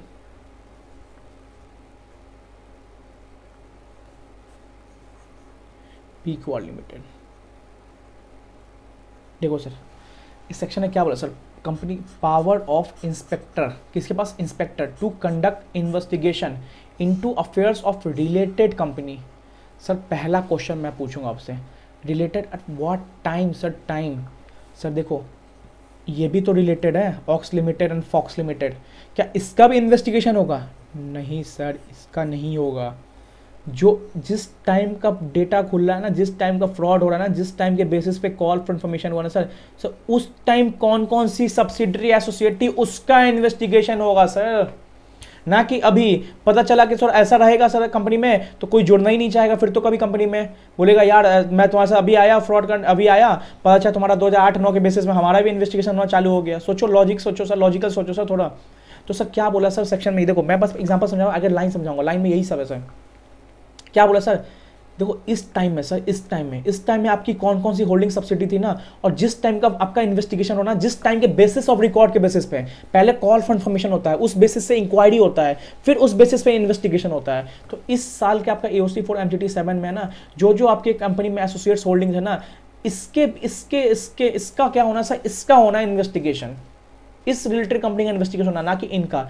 इनका क्यों होगा, सर? ये तो बेचारे अभी नए नए जुड़े आपसे। ऐसा रहेगा तो पता चला कोई जुड़ेगा नहीं, सर, आपसे। सर, आपसे कोई नहीं जुड़ेगा। आप पुराना डॉक्यूमेंट उठा के नए आदमी को लेना चालू कर दोगे आप पूछताछ। तो सर, यही बोला, सर। और चलो एक एक लाइन में समझाता हूँ, फिर इस इस इस फिगर पे आएँगे। देखो, पहला क्या बोला था, सर? देखो, क्या बोला, सर? सर, जल्दी बताता हूँ। If an inspector appointed under section 212 13 इसमें क्या होता है? इन्वेस्टिगेशन के लिए होता है, ठीक है? Consider it necessary it necessary he can also investigate affairs of what, sir? Affairs of any body corporate. Which or has, which is or has at any relevant time. तो ये तो ये तो दो सौ उन्नीस की हेडिंग है। At any relevant time being company subsidiary या होल्डिंग क्या बोला sir? Has has has at any relevant time company का क्या था सर? सब्सिडी होल्डिंग प्रीवियस पीछे आते सर। सर, यहाँ पे सर, मान लो बुल्स लिमिटेड क्या था सर? होल्डिंग था सर। 2008 नौ का हम देख रहे हैं सर। इसकी सब्सिडी कौन थी? सब्सिडी कौन थी sir? Ant limited X Y limited picker limited तो सबका क्या होगा सर? इन्वेस्टिगेशन होगा सर। इस रिलेवेंट टाइम में 2008 2009 के बेसिस पे। या मान लो मान लो मान लो एग्जांपल कि इसका हो रहा था इन्वेस्टिगेशन इसका होल्डिंग कौन सा बुल्स लिमिटेड। तो इसका भी होगा। मतलब तुम अगर सब्सिडरी हो तो तुम्हारा उस टाइम का होल्डिंग का इन्वेस्टिगेशन होगा। तुम अगर होल्डिंग हो तो तुम्हारे सारे सब्सिडी का क्या होगा? इन्वेस्टिगेशन होगा sir sir any body corporate कोई भी कंपनी जो आपकी क्या है, उस टाइम एट रिलेवेंट टाइम जो भी आठ, दो हज़ार आठ, नौ की फ़ाइल खुली है, उस टाइम कंपनी का क्या था? सब्सिडी या होल्डिंग था। तो सबका क्या होगा सर आप इन्वेस्टिगेशन कर सकता है। कौन सर इंस्पेक्टर कर सकता है।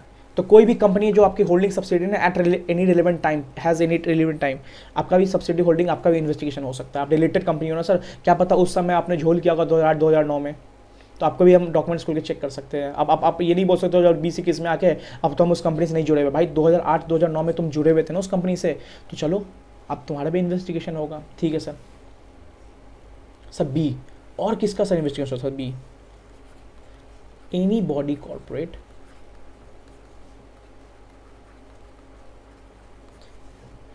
which has at any relevant time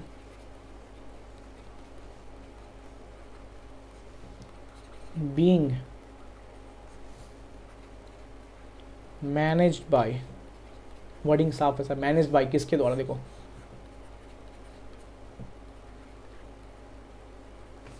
simple ये बुल्स लिमिटेड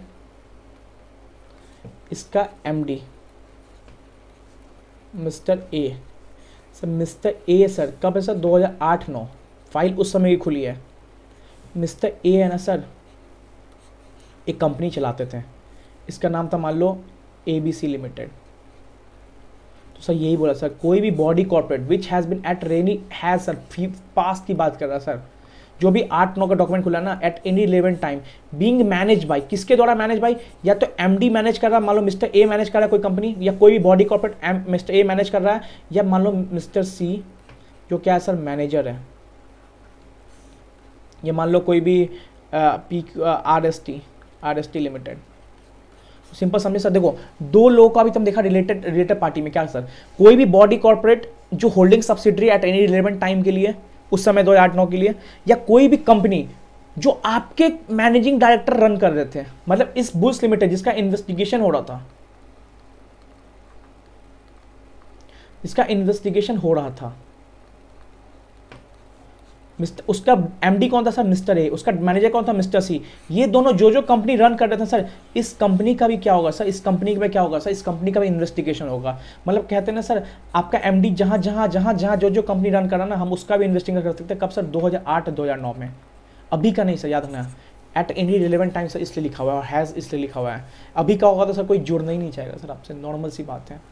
तो आपका जो भी एमडी और मैनेजर जो भी कंपनी आपका रन कर रहा था ना उस टाइम में, उसका भी इन्वेस्टिगेशन कर सकते हैं। ठीक है सर सर और सर सर और सर एनी पर्सन तो ये देखो, ये हम ऑलरेडी पीछे पढ़ चुके हैं। देखो एनी पर्सन हु इज़ और हैज़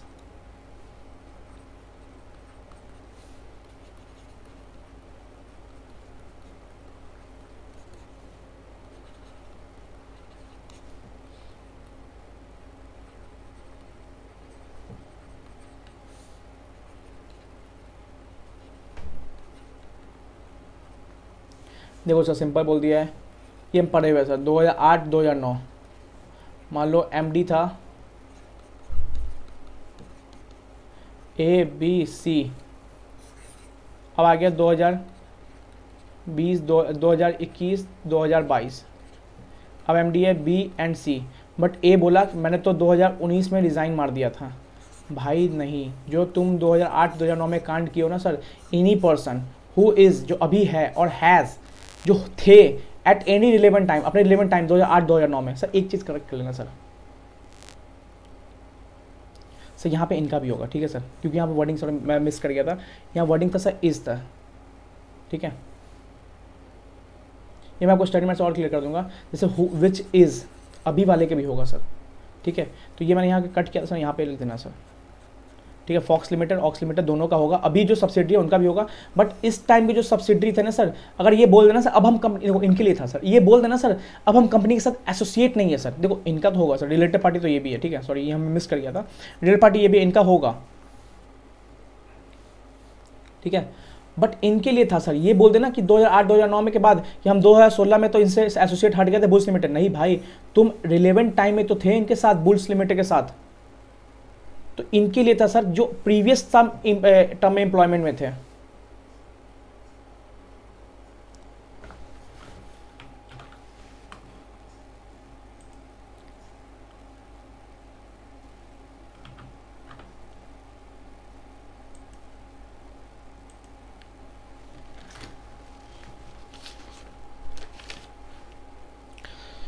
सॉरी वो थोड़ा इशू हो गया था, ठीक है।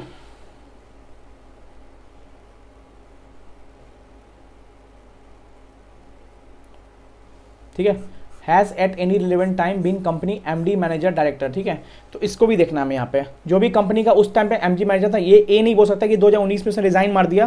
तो ये बोलेगा कि भाई, मैं नहीं हो सकता हूँ। भाई, तुम हो सकते हो। 2019 में तुम भले रिज़ाइन मार दिए। BC तो है ही अभी, इसे तो असिस्टेंट देना ही है। भाई, तुम्हें भी देना पड़ेगा, क्योंकि तुम दो हज़ार में क्या थे? एमडी थे। ठीक है?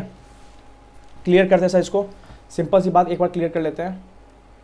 देखो पावर इंस्पेक्टर है रिलेटेड कंपनी कर सकता है। रिलेटेड कंपनी मतलब अभी वाली भी, ये सब्सिडी ऑक्स फॉक्स लिमिटेड भी। और इस टाइम में जो जो रिलेटेड थी ना, भले ये बाद में बोल दे कि भाई अब हम रिलेटेड नहीं है, भाई अब का बात नहीं है, तुम पहले थी ना रिलेटेड तो तुम्हारा भी इन्वेस्टिगेशन होगा, ठीक है? और इनका तो होगा ही होगा। ये मैंने गलत बोल दिया था, ठीक है? अब मैं करेक्ट कर रहा हूँ। इनका भी होगा सर ठीक है? और सर और किन का इन्वेस्टिगेशन होना था सर और था सर था any body cover which has अब जो इस टाइम पे जो जो तुम, तुम्हारा एम सब बिज़नेस रन कर रहा था ना, या कंपनी रन कर रहा था, इनका भी होगा सर इन्वेस्टिगेशन सर और सर और एनी पर्सन जो भी पर्सन जो भी आदमी एमडी हो मैनेजर हो डायरेक्टर हो, जो कंपनी के साथ एसोसिएट था इस टाइम में, जिस टाइम में फ्रॉड हुआ। और वो बाद में आके बोले ना कि मैंने रिजाइन कर दिया कंपनी से। भाई, तुम रिजाइन कर दिया तुम क्या मतलब? तुम हो सकता है फ्रॉड करके भागने का मेन मकसद था तुम्हारा रिजाइन करने के लिए। इसलिए इस टाइम में तुम कंपनी के साथ थे ना, अब तुम अब रिजाइनेशन का बहाना नहीं बना सकते। तुम दो में थे, भाई, तुम भी क्या हो लाइबल हो। तुम भी रिलेटिव रिलेटिव पार्टी माने जाओगे, तुम्हारा भी इन्वेस्टिगेशन इंक्वायरी हो सकता है, ठीक है? तो ये तीन बात क्लियर कर लेना। सब्सिडरी एसोसिएट केस में क्या है सर अभी वाले भी और पहले वाले भी। बट पहले वाला क्यों लाया गया सर? पहले वाला इसलिए लाया गया क्योंकि बाद में ये ना बोल दे, अब तो हम एसोसिएट नहीं है, अब तो हम सब्सिडी नहीं है, हमारा क्यों होगा? भाई 2008-9 में तुम थे ना, तुम्हारा भी होगा। सेकंड क्या था सर? कोई भी एमडी उस टाइम में, जिस टाइम का वो डॉक्यूमेंट्स निकला है फ्रॉड वाला, उस टाइम जो भी एमडी मैनेजर कंपनी रन कर रहा था, वो सारी कंपनी का भी इन्वेस्टिगेशन होगा। अभी वाले एमडी मैनेजर रन कर रहे उनका नहीं होगा, ठीक है? यहाँ पे साफ़ उनका नहीं होगा। सी में क्या सर कोई भी पर्सन उस टाइम पे कंपनी का एम्प्लॉय एमडी डायरेक्टर था, जो अब भले डिज़ाइन कर चुका बट उस टाइम था सर उसका भी इन्वेस्टिगेशन होगा। बढ़िया सर सर इसके लिए याद रखना, ये सारा इन्वेस्टिगेशन करने के लिए रिलेटेड पार्टी के लिए, एक वर्ड याद रखना।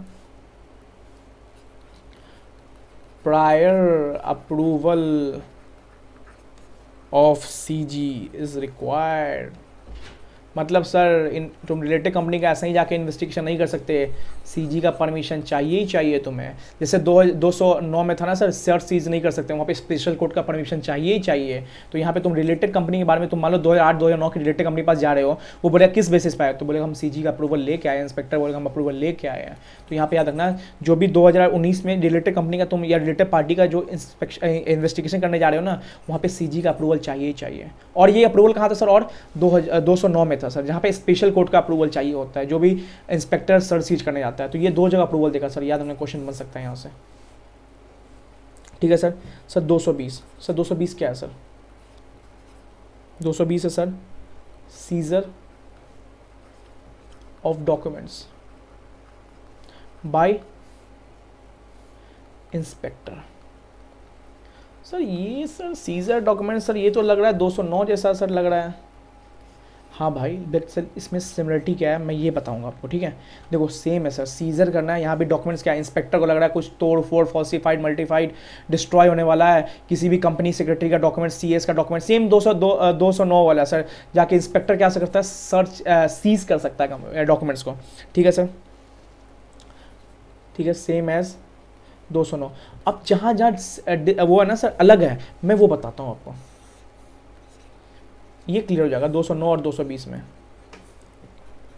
सर यहाँ पे हमने क्या क्या पढ़ा था, सर दोस्तों में? Approval of special court is required यहाँ पे, सर नो अप्रूवल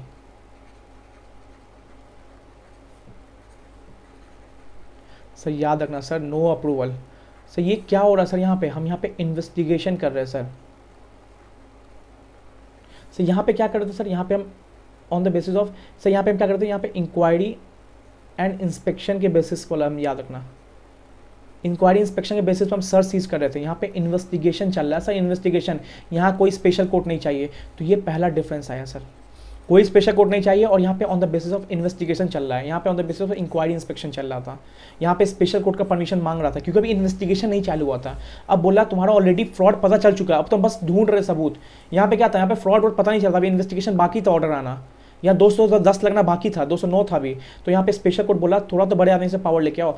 यहाँ पे बोला, तुम्हारा ऑलरेडी इन्वेस्टिगेशन चल रहा है। तुम्हारा तो ऑलरेडी सीजी का हाथ है तुम्हारे ऊपर। कोई स्पेशल कोर्ट का नहीं चाहिए अप्रूवल ठीक है सर और क्या था सर सिंपल यहाँ क्या था? Books documents expect to destroy होने वाले थे। यहाँ पे क्या था सर? सेम सेम मतलब फॉल्सीफाई मल्टीफाई डिस्ट्रॉय क्या sir? Books and books of account sir, और क्या सर? सर, ये क्या होता है सर? ऑन बेसिस ऑफ़ 206 207 मतलब सर, ये जो कॉल फॉर इन्फॉर्मेशन था ना कॉल फॉर इन्फॉर्मेशन ये सर इंक्वायरी इस बेसिस पे हम सर्च सीजर किए। इसलिए हमने स्पेशल कोर्ट का परमिशन लिया यहाँ पे, क्योंकि अभी इन्वेस्टिगेशन नहीं हुआ था। यहाँ पे क्या सर? ये ड्यूरिंग इन्वेस्टिगेशन चल रहा है। सर इन्वेस्टिगेशन ऑलरेडी चल रहा है। तुम्हारे हाथ, तुम्हारे सर पे ना सीजी का हाथ है। तो तुम स्पेशल कोर्ट से क्या परमिशन ले जाओगे? ड्यूरिंग इन्वेस्टिगेशन ठीक है? नो परमिशन याद सर नो परमिशन क्वेश्चन आ सकता है, सर। इन्वेस्टिगेशन का सर सर सीजर में कोई स्पेशल कोर्ट का परमिशन नहीं लेना पड़ता सर। ये क्वेश्चन बहुत पढ़ पाता है, सर। इंक्वायरी इंस्पेक्शन वाला बेसिस पे स्पेशल कोर्ट का परमिशन लेना है, दो सेक्शन बट इन्वेस्टिगेशन वाले सर सीज पे ना सर ये स्पेशल कोर्ट परमिशन नहीं लगेगा। सर और क्या था सर यहाँ क्या था sir 180 days plus 180 days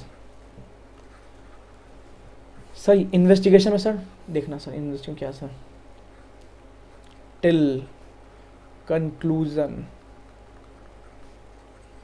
of investigation भाई, मैंने क्या बोला स्टार्टिंग से? इंक्वायरी इंस्पेक्शन के बेसिस पे तुम 180 दिन प्लस 180 दिन दे सकते हो, अगर जस्टिफाइड है तो। बट यहाँ पे क्या है सर तुम्हारे, देखो, वो सॉफ्ट रूल था।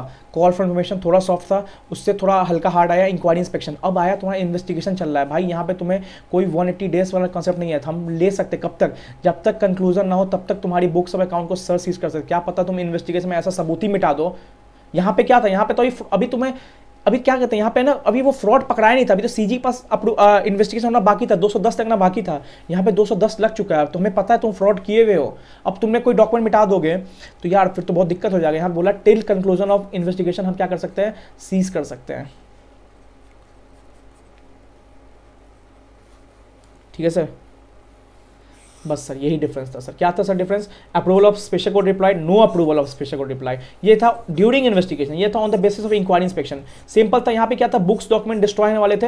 यहाँ पे क्या था? बुक्स डॉक्यूमेंट डिस्ट्रॉय होने वाले थे। यहाँ पे किसका sir? Simple C S C S C M जो भी है, यहाँ पे C S C S C M है ये क्या होता ऑन द बेसिस ऑफ़ दो सौ छः दो सौ सात के बेसिस पे दो सौ नौ होता था। ये क्या हो रहा है? ये ड्यूरिंग इन्वेस्टिगेशन मतलब दो सौ दस लग चुका है कंपनी में।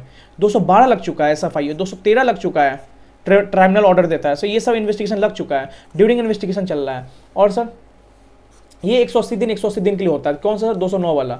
सर ये ये 220 वाला सर ये पूरा होल्ड जब तक कंक्लूजन ना निकले इन्वेस्टिगेशन तब तक हो सकता है। ठीक है सर? ऑल डन सर आज के लिए इतना ही था सर। 220 हमने पूरा खत्म किया। 219 में सर याद रखना power to inspector related company में एक जगह मैंने मिस किया थोड़ा इंटरप्रिटेशन में। ठीक है? बस उसको मैंने करेक्ट कर दिया। Any body corporate which is और हैज़ अभी जो भी बॉडी कॉर्पोरेटर रिलेटेड कंपनी थी, वो भी हुई और हैज़ मतलब उस टाइम जो रिलेटेड कंपनी थी, अब ये नहीं बोल सकती कि हम अब रिलेटेड नहीं है। भाई, अब नहीं हो, कोई दिक्कत नहीं। उस टाइम थे ना जब 2008 2009 में फ्रॉड हुआ, तब भी तुम रिलेटेड कंपनी हो, तब भी तुम्हारा इन्वेस्टिगेशन हो सकता है। बट ये सब केस में कब हो सकता है? जब सीजी का अप्रूवल हो, ठीक है? आज के इतना ही रखते हैं। सर रिवाइज करते हैं नोट्स मैंने प्रॉपर बनाए हुए होप्स आपको नोट्स अच्छे लग रहे होंगे। क्लास कैसा हो सर अभी का कमेंट बॉक्स बताना। All the best sir good night ठीक है?